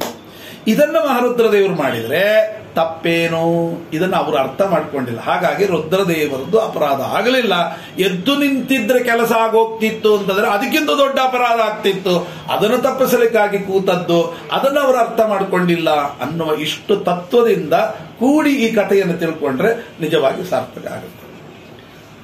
ಆಮೇಲೆ ಅಲ್ಲೇ ಉತ್ತಾನಪಾದರ ಕಥೆಯನ್ನು ಹೇಳ್ತಾರೆ. ಉತ್ತಾನಪಾದರ ಕಥೆಯಲ್ಲೂ ಕೂಡ ಒಂದು ದೊಡ್ಡ ಅದ್ಭುತವಾದ ಅನುಸಂಧಾನಗಳಿದೆ. ಏನದು ಅಂದ್ರೆ ಉತ್ತಾನಪಾದರಿಗೆ ಇಬ್ಬರು ಪತ್ನಿಯರು, ಸುರುಚಿ ಮತ್ತು ಸುನೀತಿ ಅಂತ. ಈ ಸುರುಚಿ ಏನ್ ಮಾಡ್ತಾಳೆ? ಇಡೀ ಅರಮನೆಯನ್ನು ವ್ಯಾಪಿಸ್ಕೊಂಡ್ಬಿಡ್ತಾಳೆ. ಸುನೀತಿಗೆ ಒಂದೇ ಒಂದು ಕೋಣೆ. ಆ ಕೋಣೆಯಲ್ಲೇ ಅಲ್ಲ. ಆವಾಗ ಆ ಸುರುಚಿ ಇದ್ದಾಳಲ್ಲ. ಸುರುಚಿ ಇದ್ದಾಳಲ್ಲ. ಆ ಸುರುಚಿ ಅವನ ಮಗನಾಗಿರತಕ್ಕಂತಹ ಉತ್ತಮ ಧ್ರುವರಾಜರ ತೊಡೆ ಮೇಲೆ ಕೂತರು ಆವಾಗ ಅಲ್ಲ ಧ್ರುವ ಉತ್ತ ಉತ್ತ, ಉತ್ತಾನಪಾದರ ತೊಡೆ ಮೇಲೆ ಈ ಉತ್ತಮ ಕೂತ. ಧ್ರುವರಾಜರಿಗೆ ನಾನು ಕೂಡಬೇಕು ಅಂತ ಅನಿಸ್ತು ಸೀದಾ ಬಂದ್ರು ಇನ್ನೊಂದು ತೊಡೆ ಮೇಲೆ ಕೂತು. ಅವಳು ಎಳೆದು ಹಾಕಿದ್ಲು ಈ ತೊಡೆ ಮೇಲೆ ಕೂಡಬೇಕಾದ್ರೆ ನನ್ನ ಹೊಟ್ಟೆಯಲ್ಲಿ ಹುಟ್ಟಿ ಬಂದ್ರೆ ಮಾತ್ರ ಆ ಪಾಪಿಟ್ಟಳ ಹೊಟ್ಟೆಯಲ್ಲಿ ಹುಟ್ಟಿದ್ರೆ ಆಗಲ್ಲ ಅಂತ ಹೇಳಿ ಕಳಿಸಿಬಿಟ್ರು. ಕೋಪ ಬಂತು. ದಂಡ ಹತೋ ಯಥಾಹಿಹಿ ಎಷ್ಟು ಸಿಟ್ಟು ಬಂತು ಅಂದ್ರೆ ವಾಕ್ಯ ಉದಾಹರಣೆ ಕೊಡ್ತಾರೆ. ದಂಡ ಹತಃ. ದಂಡ ಅಂದ್ರೆ ಕೋಲು. ಹತ ಅಂದ್ರೆ ಹೊಡೆಯೋದು. ಯಾರಿಗೆ? ಅಹಿ. ಅಹಿ ಅಂದ್ರೆ ಹಾವು. ಹಾವಿಗೆ ಕೋಲ್ನಿಂದ ಹೊಡೆದ್ರೆ ಅದು ಹೆಂಗೆ ಬುಸುಗುಟ್ಟಬೇಕು? ಹಂಗೆ ಬುಸುಗುಟ್ಕೊಂಡು ಬಂದ. ತಾಯಿ ಹತ್ರ ಎಲ್ಲ ಹೇಳ್ತಾನೆ. ನಿಶ್ವಾಸ ನಿಶ್ವಾಸೇನ. ಹೇ ಉಸಿರಾಡ್ತಾ ಆಡ್ತಾ ಅಷ್ಟು ದುಃಖ ಮಳಿ ಬರ್ತಾ ಇದೆ. ಯಾವ ತಾಯಿಗೆ ಮಗು ದುಃಖದಿಂದ ಅಳ್ತಾ ಹ್ಮ್, ಕರಳು ಚುರುಕನ್ನಲ್ಲ ಹೇಳಿ. ಆದರೂ ಕಂಟ್ರೋಲ್ ನೋಡಿ ಧರ್ಮ ಬಿಡ್ಲಿಲ್ಲ ಅವಳು ಏನು ಹೇಳ್ತಾಳೆ? ಮಾ ಮಂಗಲಂ ತಾತ ಪರೇಶು ಮಂಸ್ತಾಹ. ನೋಡಪ್ಪ ಅವಳಿಗೆ ಎಂದೆಂದೂ ಕೆಡುಕನ್ನು ಬಯಸಬೇಡ. ಆರಾಧಯ ಅಧೋಕ್ಷ ಜಪಾದ ಪದ್ಮಂ ಎಂತ ಯಾರಿದ್ದಾರೆ ಈ ತರ ಹೇಳೋರು? ಸನ್ಮಾರ್ಗ ಕೊಡೋದಂದ್ರೆ ಹೀಗೆ. ಅವು ತನ್ನ ಕರುಣ, ಕರುಳಿನ ಕುಡಿಗೆ ಇಷ್ಟು ತೊಂದರೆ ಆದರೂ ಕೂಡ ಒಂದೇ ಮಾತು ಹೇಳ್ತಾಳೆ, ಭಗವಂತನನ್ನು ಬಿಟ್ಟು ಬೇರೆ ಯಾರನ್ನೂ ಕೈ ಚಾಚಬೇಡ ಬೇಡ ಹಾಡಿದರೆ ಎನ್ನ ಒಡೆಯನ ಹಾಡುವೆ, ಬೇಡಿದರೆ ಎನ್ನ ಒಡೆಯನ ಬೇಡುವೆ. ಎಷ್ಟು ಅದ್ಭುತವಾದ ಮಾತುಗಳು. ಈ ರೀತಿಯಾಗಿ ಮಾಡಿದರೆ ಯಾವ ತೊಂದರೆನೂ ಆಗೋದಿಲ್ಲ ಅಂತ ಹೇಳಿ ಆರು ತಿಂಗಳು ಕಾಡಿಗೆ ಕೊಟ್ಟು ಕಳಿಸಿದ್ದಾಳೆ. ಆಗ ಆರು ತಿಂಗಳು ರುದ್ರದೇವಿ ನಾರದರು ಉಪದೇಶವಾಗಿದೆ. ಓಂ ನಮೋ ಭಗವತೆ ವಾಸುದೇವಾಯ ಎಂಬ ದಿವ್ಯ ಮಂತ್ರವನ್ನು ಕೊಟ್ಟಿದ್ದಾರೆ. ಆ ಮಂತ್ರವನ್ನು ಜಪ ಮಾಡುತ್ತಾ ಒಂದೊಂದು ತಿಂಗಳು ಏನು, ಮೊದಲನೇ ಮಾಸದಲ್ಲಿ ಕಪಿತ್ತ ಬದರಾಸನ. ಅಂದ್ರೆ ಏನು ಗೊತ್ತಾ? ಕಪಿತ್ತ ಅಂದ್ರೆ ಬೇಲದ ಹಣ್ಣು. ಬದರಾಸನ ಅಂದ್ರೆ ಬೋರೆ ಹಣ್ಣು. ಒಂದು ಬೇರದ ಹಣ್ಣು, ಒಂದು ಬೋರೆ ಹಣ್ಣು. ಅಷ್ಟೇ ಅಂತ. ಒಂದು ತಿಂಗಳು ಪೂರ್ತಿ. ದಿನಕ್ಕೆ ಒಂದು ಬೋರೆ ಹಣ್ಣು ಬೋಲೆದ ಹಣ್ಣು. ಆದರೂ ದೇವರು ಒಲಿಲಿಲ್ಲ. ಎರಡನೇ ತಿಂಗಳಿಗೆ. ಅದನ್ನು ಬಿಟ್ಟುಬಿಟ್ರು. ಒಣಗಿದ ಎಲೆ ಅಟ್ಟೆ. ಎರಡನೇ ತಿಂಗಳಿಗೂ ದೇವರು ಒಲಿಲ್ಲ ಮೂರನೇದು, ಒಂದು ಬೊಗಸೆ ನೀರು. ಅದನ್ನು ಬಿಟ್ಟು ಬಿಟ್ರು ನಾಲ್ಕನೇ ತಿಂಗಳು, ಉಸಿರು ಮಾತ್ರ. ಒಂದು ದಿನಕ್ಕೆ ಒಂದ್ಸಲ ಅಂತ ಉಸಿರು ಹೇಳ್ಕೊಂಡ್ಬಿಡೋದು ಆ ಉಸಿರನ್ನೇ ಒಂದ್ ದಿನ ಇಡೀ ಇಪ್ಪತ್ನಾಲ್ಕು ಗಂಟೆ. ಮತ್ತಿರ್ಗ ಮುಂದಿನ ದಿನನೇ ಉಸಿರು ಆ ತರ ಉಗ್ರ ತಪಸ್ಸು. ಅದಕ್ಕೂ ದೇವರು ಒಲಿಲಿಲ್ಲ. ನಾವೇನೋ ಒಂದು ಸತ್ಯನಾರಾಯಣ ಪೂಜೆ ಮಾಡಿಸ್ಬಿಟ್ಟು ದೇವ್ರು ಒಲಿಲಿಲ್ಲ ಅಂತೀವಿ, ಏನ್ ಕಷ್ಟ, ಇದೆಲ್ಲ ನೋಡ್ಬೇಕು. ಇವೆಲ್ಲ ಹೇಳುವಾಗ ನಮಗೊಂದು ಅನುಸಂಧಾನಗಳು ಬರ್ತದೆ. ನಾವೇನು ಮಾಡಿದ್ರು? ಜಾತರವ ನಾನಯ್ಯ, ಇಂದಿರೇಶ, ಅದ್ಭುತವಾದ ಮಾತುಗಳಿವೆಲ್ಲ. ಆವಾಗ ಅಷ್ಟು ತಪಸ್ಸು ಮಾಡಿದ್ರು, ಕೊನೆಗೆ ಎಲ್ಲವನ್ನು ಬಿಟ್ಟ. ಬಿಟ್ಟೇನು? ಈ ಕಾಲನ್ನ ತೊಡೆಗೆ ಅಡ್ಡ ಇಟ್ಟಿದ್ದು. ಅಂಗುಟ್ಟಾವನಿ ಪೂರ್ತಿ ಪಾದ ಇಟ್ಟಿಲ್ಲ, ಹೀಗೆ ಎತ್ತಿದ್ದಂತೆ ಬರೀ ಬೆರಳುಗಳ ಮೇಲೆ. ಎರಡೂ ಕೈಗಳನ್ನು ಮೇಲೆ ಎತ್ತದಂತೆ. ನಭೋ ದೃಷ್ಟಿ ಆಕಾಶ ನೋಡೋದಂತೆ. ವಾಸುದೇವ. ಓಂ ನಮೋ ಭಗವದೇವ ಓಂ ನಮೋ ಭಗದೇವ ಈ ರೀತಿಯಾಗಾದಾಗ ಕೊನೆಗೆ ಆರು ತಿಂಗಳಾದ ಮೇಲೆ ಪರಮಾತ್ಮ ಕಾಣಿಸಿಕೊಂಡ. ಕಾಣಿಸಿಕೊಂಡ್ರೆ ಕಣ್ತಿರ್ಲಿಕ್ಕೆ ತಯಾರಿಲ್ಲ. ಒಳಗಿಂದ ನೋಡ್ತಾ ಇದ್ದಾನೆ. ಆಗ ದೇವರಂತಾನೆ ಧ್ರುವ, ನಾನು ಕಣೋ, ಯಾವ ದೇವರನ್ನ ನೀನು ಉಪಾಸನೆ ಮಾಡ್ತಾ ನಾನು ಬಂದಿದ್ದೆ ಅದನ್ನ ನೀನು ಕಣ್ಣು ಬಿಡು. ಅವನು ಕಣ್ಣು ಬಿಡ್ಲಿಕ್ಕೆ ತಯಾರಿಲ್ಲ. ಒಳಗಿಂದ ರೂಪ ಆನಂದ ಬಿಡ್ಲಿಕ್ಕೆ ಮನಸ್ಸಿಲ್ಲ. ಸಮಾಧಿ ಅವಸ್ಥೆಗೆ ಹೋಗ್ಬಿಟ್ಟಿದ್ದಾನೆ. ಆಗ ದೇವರು ಮಾಡಿದ, ಮತ್ ನಂಗೆ ಟೈಮ್ ಆಗುತ್ತೆ. ಇವ್ನು ನಿಮ್ ಕಣ್ ತೆರೆಯೋ ಯೋಚನೆ ಇಲ್ಲ. ಮತ್ ನನಗೇನು ಮಾಡ್ಬೇಕು? ಎಷ್ಟೊತ್ತು ನಿಂತ್ಕೊಳ್ಳೋದು? ಅದಕ್ಕೆ ಬುದ್ಧಿವಂತ ದೇವರು ಏನ್ ಮಾಡಿದ? ಯಾವ ರೂಪವನ್ನ ಒಳಗಿಂದ ನೋಡ್ತಾ ಇದ್ನಲ್ಲ, ಒಳಗಣ್ಣಿಂದ ನೋಡ್ತಾ ಇದ್ನಲ್ಲ, ಆ ರೂಪ ಕಾಣದ ಹಾಗೆ ಮಾಡಿಬಿಟ್ಟಂತೆ ಅಯ್ಯೋ ನನ್ನ ದೇವ್ರು ಇಷ್ಟೊತ್ತ ನೋಡ್ತಾ ಇದ್ದಾನೆ, ಎಲ್ಲಿ ಅಂತ ಕಂಡುಬಿಟ್ಟು ಅಂದ್ರೆ ಎದುರಿಗೆ ನಿಂತು ಬಿಟ್ಟಿದ್ದಾನೆ ಅಯ್ಯೋ, ಯಾವ ರೂಪವನ್ನು ನಾನು ತಪಸ್ ಮಾಡ್ತಾ ಇದೆ, ಎದುರಿಗೆ ನಿಂತು ಬಿಟ್ಟಿದ್ದಾನೆ ಅಂದ್ರೆ ಎಷ್ಟು ಆನಂದ ಆಗ್ಲಿಕ್ಕೆ ಮಾತೇ ಬರಲಿಲ್ಲ ಅಂತ. ಅಂತ ಪ್ರವಿಶ್ಯ ಮಮ ವಾಚ ಮೀಮಾಂ ಪ್ರಸುಪ್ತಾಂ ಸಂಜೀವ ಯದ್ಯಕಿಲ ಶಕ್ತಿ ಧರಸ್ವಧಾಮ್ನಾಂ ಅನ್ಯಾಂಸ್ತ ಹಸ್ತ ಚರಣ ಶ್ರವಣತ್ವಗಾದೀನ್ ಪ್ರಾಣನ್ನಮೋ ಭಗವತೆ ಪುರುಷಾಯ ತುಭ್ಯಂ. ಆಗ ಭಗವಂತ ಏನು ಮಾಡಿದ ಅಂದ್ರೆ ಮಾತಾಡ್ಲಿಕ್ಕೆ ಬರ್ತಿರ್ಲಿಲ್ಲ. ಕೈಯಲ್ಲಿ ಶಂಕ ಇತ್ತಲ್ಲ ಶಂಕಚ ಆ ಶಂಕವನ್ನು ಹೀಗೆ ಕಪೋಲಕ್ಕೆ ತಿಕ್ಕಿದ್ದಂತೆ ಬ್ರಹ್ಮ ಮಗೇನ ಕಂಬುನ.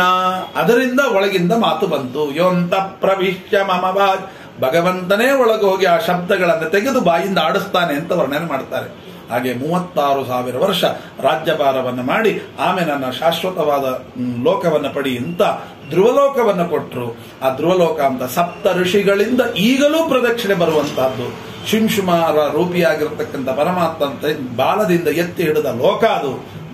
ಕೊನೆಗೆ ಮೆಚ್ಚಿ ತನ್ನ ಮಗಳನ್ನೇ ಕೊಟ್ಟು ಮದುವೆ ಮಾಡ್ತಾನಂತೆ. ಅಳಿಯನ್ನ ಹಾಗೆ ಮಾಡ್ಕೊಂತಾನಂತೆ. ಇವತ್ತಿಗೂ ಧ್ರುವ ಪದವಿ. ಅದು ಆ ಧ್ರುವರಾಜರ ಕಥೆಯನ್ನು ಯಾರು ಕೇಳ್ತಾರೆ, ಅವರಿಗೆ ಜೀವನದಲ್ಲದೊಂದು ಮಾರ್ಗದರ್ಶನ ಅಂತೆ.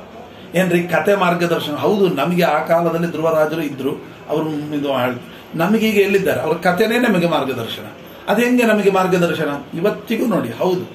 ಈ ಸಮುದ್ರ ಯಾರು ಮಾಡ್ತಾರಲ್ಲ, ಅವರಿಗೆ ನೀವು ಏನೇ ಸ್ಯಾಟಲೈಟ್ಗಳಿದ್ರೆ ಒಂದು, ಅದಕ್ಕೊಂದು ಲಿಮಿಟೇಷನ್ ಇದೆ. ಸಮುದ್ರದ ಮಧ್ಯದಲ್ಲಿ ಯಾನ ಮಾಡುವಾಗ ನಿಮಗೆ ಯಾವ ಕಡೆ ಹೋಗಬೇಕು ಅಂತ ಗೊತ್ತಾಗೋದಿಲ್ಲ. ಒಂದೇ ಒಂದು ಅವರಿಗೆ ದಿಕ್ಕು. ಯಾವುದು ಗೊತ್ತಾ? ಧ್ರುವ ನಕ್ಷತ್ರ. ಅದನ್ನು ನೋಡ್ತಾರೆ. ಅದು ಯಾವ ದಿಕ್ಕಿಗಿದೆ? ಆಗ ನಾವು ಈ ದಿಕ್ಕಿಗೆ ಹೋದ್ರೆ ಮುಂಬೈಗೆ ಹೋಗಿ, ಇಲ್ಲಿ ದಿಕ್ಕಿಗೆ ಹೊರಟೆ ಹೀಗೆ ಅದನ್ನ ನಮಗೆ ಮಾರ್ಗವನ್ನ ಇವತ್ತಿಗೂ ಸಮುದ್ರಯಾನದಲ್ಲಿ ಮಾಡುವವರಿಗೆ ಯಾವ ಸ್ಯಾಟಲೈಟ್ಗಿಂತಲೂ ಧ್ರುವ ನಕ್ಷತ್ರವೇ ಪ್ರಧಾನವಾಗಿದೆಯೋ, ಮತ್ತೆ ಅಂತಹ ದಾರಿದೀಪವಾಗಿರುವಾಗ ಧ್ರುವರಾಜರ ಕತೆ ನಮ್ಮ ಜೀವನದಲ್ಲಿ ದಾರಿದೀಪ ಆಗೋದಿಲ್ಲ ಅಂತ ಏನು ಹೇಳೋಣ? ಅಲ್ಲ, ಅದು ಸಮುದ್ರಯಾನ. ನಮ್ದು ಸಮುದ್ರಯಾನ. ಸಂಸಾರವೆಂಬ ಸಮುದ್ರ ಅದರಲ್ಲಾದರೂ ದಾಟಬಹುದು. ಇದ್ರಲ್ಲಿ ದಾಟ್ಲಿಕ್ಕೆ ಆಗುವುದಿಲ್ಲ. ಆದ್ದರಿಂದ ಇಂತಹ ಸಮುದ್ರಯಾನದಲ್ಲಿ ನಾವು ಹೊರಟಾಗ ಧ್ರುವರಾಜರ ಕತೆ ನಮಗೆ ದಾರಿದೀಪವಾಗುತ್ತೆ ಅನ್ನುವುದರಲ್ಲಿ ಎರಡನೇ ಮಾತಿಲ್ಲ ಅಂತ ಧ್ರುವರಾಜರ ಕಥೆಯನ್ನು ಹೇಳ್ತಾ ಹೋಗ್ತಾರೆ. ಮುಂದೆ ಅಜಾಮಿಳನ ಆ ಧ್ರುವರಾಜರ ಕಥೆಯಲ್ಲಿ ಮುಂದೆ ಹೇಳ್ತಾರೆ ಇವನು ವೇನ ಅಂತ ಒಬ್ಬ ಅಂಗರಾಜರು, ಅಂಗರಾಜನಿಗೆ ಮಕ್ಕಳಿರಲ್ಲ ವೇನ ಎಂಬ ಮಗ ಹುಟ್ಟುತ್ತಾನೆ. ವೇನನ ದೇಹವನ್ನು ಮತನ ಮಾಡಿದಾಗ ಪೃಥು ಚಕ್ರವರ್ತಿಯ ಅವತಾರವಾಗುತ್ತೆ. ವೇನನ ದೇಹವನ್ನು ಮತನ ಮಾಡಿದಾಗ ಪೃಥು ಚಕ್ರವರ್ತಿಯ ಅವತಾರವಾಗುತ್ತೆ. ಇಂತಹ ಪೃಥು ಚಕ್ರವರ್ತಿಯ ಅವತಾರ ಆಗಬೇಕಾದ್ರೆ ಕಾರಣ ಯಾರು? ವೇನ ಏನ್ರಿ? ವೇನ ಪರಮ ದೈತ್ಯ, ಮಹಾಪಾಪಿಯವನು. ಮತ್ತೆ ಪೃಥು ಚಕ್ರವರ್ತಿ ಅಂತ ಜ್ಞಾನಿಗಳ ಅವತಾರ ಹೆಂಗಾಯ್ತ್ರಿ? ಭಗವಂತನ ಅಂಶಾವತಾರ ಅದು. ಅಂತದ್ದಾಗಬೇಕಾದ್ರೆ ಪಾಪಿಗಳಲ್ಲ ಆಗುತ್ತಾ ಅಂದ್ರೆ? ಪಾಪಿ ಅಲ್ಲ. ಮತ್ತೆ ಯಾರು? ಅಂದರೆ ಅಂಗಮಹಾರಾಜರು ತಾವು ಪುತ್ರಕಾಮೇಷ್ಟಿ ಯಾಗವನ್ನ ಮಾಡಿ ಆನಂತರ ಹುಟ್ಟಿದ ಮಗು. ಹಾಗಾದ್ರೆ ಪಾ ಪಾಪಿಷ್ಟನೇ ಅದ್ರಲ್ಲಿ ನೋ ಡೌಟ್ ಮತ್ತೆ ಅವನ್, ಮತ್ತೆ ಮೃತ ನೋಡಿ, ಪುತ್ರಕಾಮಿ, ಅವನ್ ಪಾಪಿಟ್ಟ ಯಾಕಾದ ಅಂದ್ರೆ ಅಂಗಮಹಾರಾಜರು ಹೋದ ಜನ್ಮದಲ್ಲಿ ಶಿಶು ಹತ್ಯೆ ಮಾಡಿದ್ರು. ಅದಕ್ಕಾಗಿ ಈ ಜನ್ಮದಲ್ಲಿ ಮಕ್ಕಳಿಲ್ಲ ಅನ್ನುವ ಶಿಕ್ಷೆ. ನೀವು ಪುತ್ರಗಾಮೇಟಿ ಯಾಗ ಮಾಡಿದ್ರೂ ಕೂಡ, ಮಗು ಹುಟ್ಟಿದ್ರೂ ಕೂಡ, ನಿಮಗೆ ಮಕ್ಕಳಿಲ್ಲ ಅನ್ನೋದುಂಟಲ್ಲ? ಕೆಟ್ಟ ಮಕ್ಕಳಿದ್ರು ಮಕ್ಕಳು ಇಲ್ದಂತೆ ಅದಕ್ಕೆ ಆ ಮಕ್ಕಳನ್ನ ಕೆಟ್ಟ ಮಕ್ಕಳನ್ನಾಗಿ ಹುಟ್ಟಿ ಹುಟ್ಟಿಸಿ ಇವರಿಗೆ ಮಕ್ಕಳಿಲ್ಲದಿರುವ ಸೌಭಾಗ್ಯವನ್ನು ಕೊಟ್ಟರು ಯಾಕೆ? ಹೋದದಲ್ಲಿ ಮಾಡಿದ ಮಾಡಿದ ಶಿಕ್ಷೆ. ಹಾಗಾದ್ರೆ ಪುತ್ರಗಾಮಿ ಅಟ್ಟಿಯಾಗ ವ್ಯರ್ಥ ಆಯ್ತಾ? ಇಲ್ಲ. ಆಮೇಲೆ ಅವನ ದೇಹ ಸತ್ತ ಮೇಲೆ ದೇಹ ಮತನ ಮಾಡಿದಾಗ ಅದರಿಂದ ಹೊರಗೆ ಬಂದ್ರಲ್ಲ ಪೃಥುಚಕ್ರ ಅದು ಪುತ್ರಗಾಮೇಟಿಯಾಗದ ಫಲ. ಯಾರು ತಿಳಿಸ್ಬೇಕು? ಶ್ರೀಮದಾಚಾರ್ಯ ಒಬ್ಬರೇ ಇಷ್ಟು ವಿವರಣ, ವಿವರಣೆಯನ್ನು ಕೊಟ್ಟು ಹೇಳ್ತಾರೆ. ಹೀಗೆ ಧ್ರುವರಾಜರ ಅದರಲ್ಲಿ ಮತ್ತೆ ಪ್ರಾಚೀನ ಬರಹಿ ಅಂತ ಒಬ್ಬನು ಪ್ರಾಚೀನ ಬರಹಿ ಅಂತ ಅವನಿಗೆ ಒಂದು ನಾರದರು ಬಂದು ಒಂದು ಕಥೆಯನ್ನು ಹೇಳ್ತಾರೆ. ಕಥೆಯನ್ನು ಹೇಳುವಾಗ ಯಾವುದನ್ನ ನಾವು ಸ್ಮರಣೆ ಮಾಡಿಕೊಂಡು ಸಾಯ್ತೇವೋ ಅದೇ ಜನ್ಮದಲ್ಲಿ ಹೊಡ್ತೇವೆ ಅದಕ್ಕೆ ಇನ್ನೂ ಒಂದು ಕಥೆಯನ್ನು ಹೇಳ್ತಾರೆ. ಯಾರು ಅಂದ್ರೆ ಅದು ಮುಂದೆ ಐದನೇ ಅಧ್ಯಾಯದಲ್ಲಿ ಬರುತ್ತೆ. ಇಲ್ಲಿ ಈ ಇದನ್ನ ಹೇಳ್ತಾ ಮುಂದೆ ಈ ಇದಿಷ್ಟೇನಾಯಿತು? ಆಕೂತಿ, ದೇವಹೂತಿ, ಪ್ರಸೂತಿ. ಉತ್ತಾನಪಾದರು ನಾಲ್ಕು ಜನದ ಇನ್ನು ಒಬ್ಬರು ಉಳಿದ್ರು ಪ್ರಿಯವ್ರತರು ಅಂತ. ಆ ಪ್ರಿಯವ್ರತ ರಾಜರ ಕತೆ ಐದನೇ ಅಧ್ಯಾಯದಲ್ಲಿ ಭೂಗೋಲ ವರ್ಣನೆ ಖಗೋಲ ವರ್ಣನೆ ಸಹಿತವಾಗಿ ನರಕಾದಿಗಳ ವರ್ಣನೆ ಮಾಡಿ ಈ ನರಕದಿಂದ ಪರಿಹಾರವಾಗಬೇಕಾದ್ರೆ ಏನು ಮಾಡಬೇಕು ಅಂತ ಕೇಳಿದಾಗ ಆಗ ಉತ್ತರ ಕೊಡ್ತಾರೆ, ಅದೇ ಉತ್ತರವೇ ಅಜಾಮಿಲೋಪಾಖ್ಯಾನ ಅಜಾಮಿಲನ ಕತೆ. ಆ ಅಜಾಮಿಲನ ಕಥೆಯಲ್ಲಿ ಏನ್ರಿ ಇಷ್ಟೇನ ಕತೆ ಕೊನೆಗೆ ಅಂತಂದ್ರೆ ಆಗಲ್ಲ ದೇವರು ಯಾರೇ ತಪ್ಪು ಮಾಡಿದ್ರು ಅವರಿಗೆ ಶಿಕ್ಷೆ ಕೊಟ್ಟೇ ಕೊಡ್ತಾನೆ ಅಂತ ತನ್ನ ದ್ವಾರಪಾಲಕರಾಗಿರ್ತಕ್ಕಂಥ ಜಯವಿಜಯರಿಗೂ ಶಿಕ್ಷೆ ಕೊಟ್ಟೇ ಕೊಟ್ಟ ಅವನು ಶಿಶುಪಾಲ ಹಿರಣ್ಯಕಶಿಪವಾಗಿ ಹುಟ್ಟಿದ್ದಾರೆ ಅಂತ ಹೇಳಿ ಅವರ ಮಗನೇ ಪ್ರಹ್ಲಾದರಾಜ ಅವನಿಗೆ ನರಸಿಂಹದೇವರ ಅವತಾರ. ಹೇಗಾಯಿತು ಅಂತ ಅನ್ನೋದು ನಾಳೆ ಪ್ರಿಯವ್ರತರಾಜರ ಕತೆ ಮತ್ತು ನರಸಿಂಹದೇವರ ಅವತಾರ. ಬಹಳ ಅದ್ಭುತವಾಗಿರತಕ್ಕಂಥ ನರಸಿಂಹದೇವರ ಅವತಾರ ಹೇಗಾಯಿತು ಅಂತ ಅನ್ನೋದನ್ನ ತ್ರಯೋದಶಿ ಬೇರೆ. ನರಸಿಂಹದೇವರ ಅವತಾರವೂ ಚತುರ್ದಶಿ. ಹಾಗಾಗಿ ಚತುರ್ದಶಿ ಬಂದ್ಬಿಟ್ಟಿರ್ತದೆ.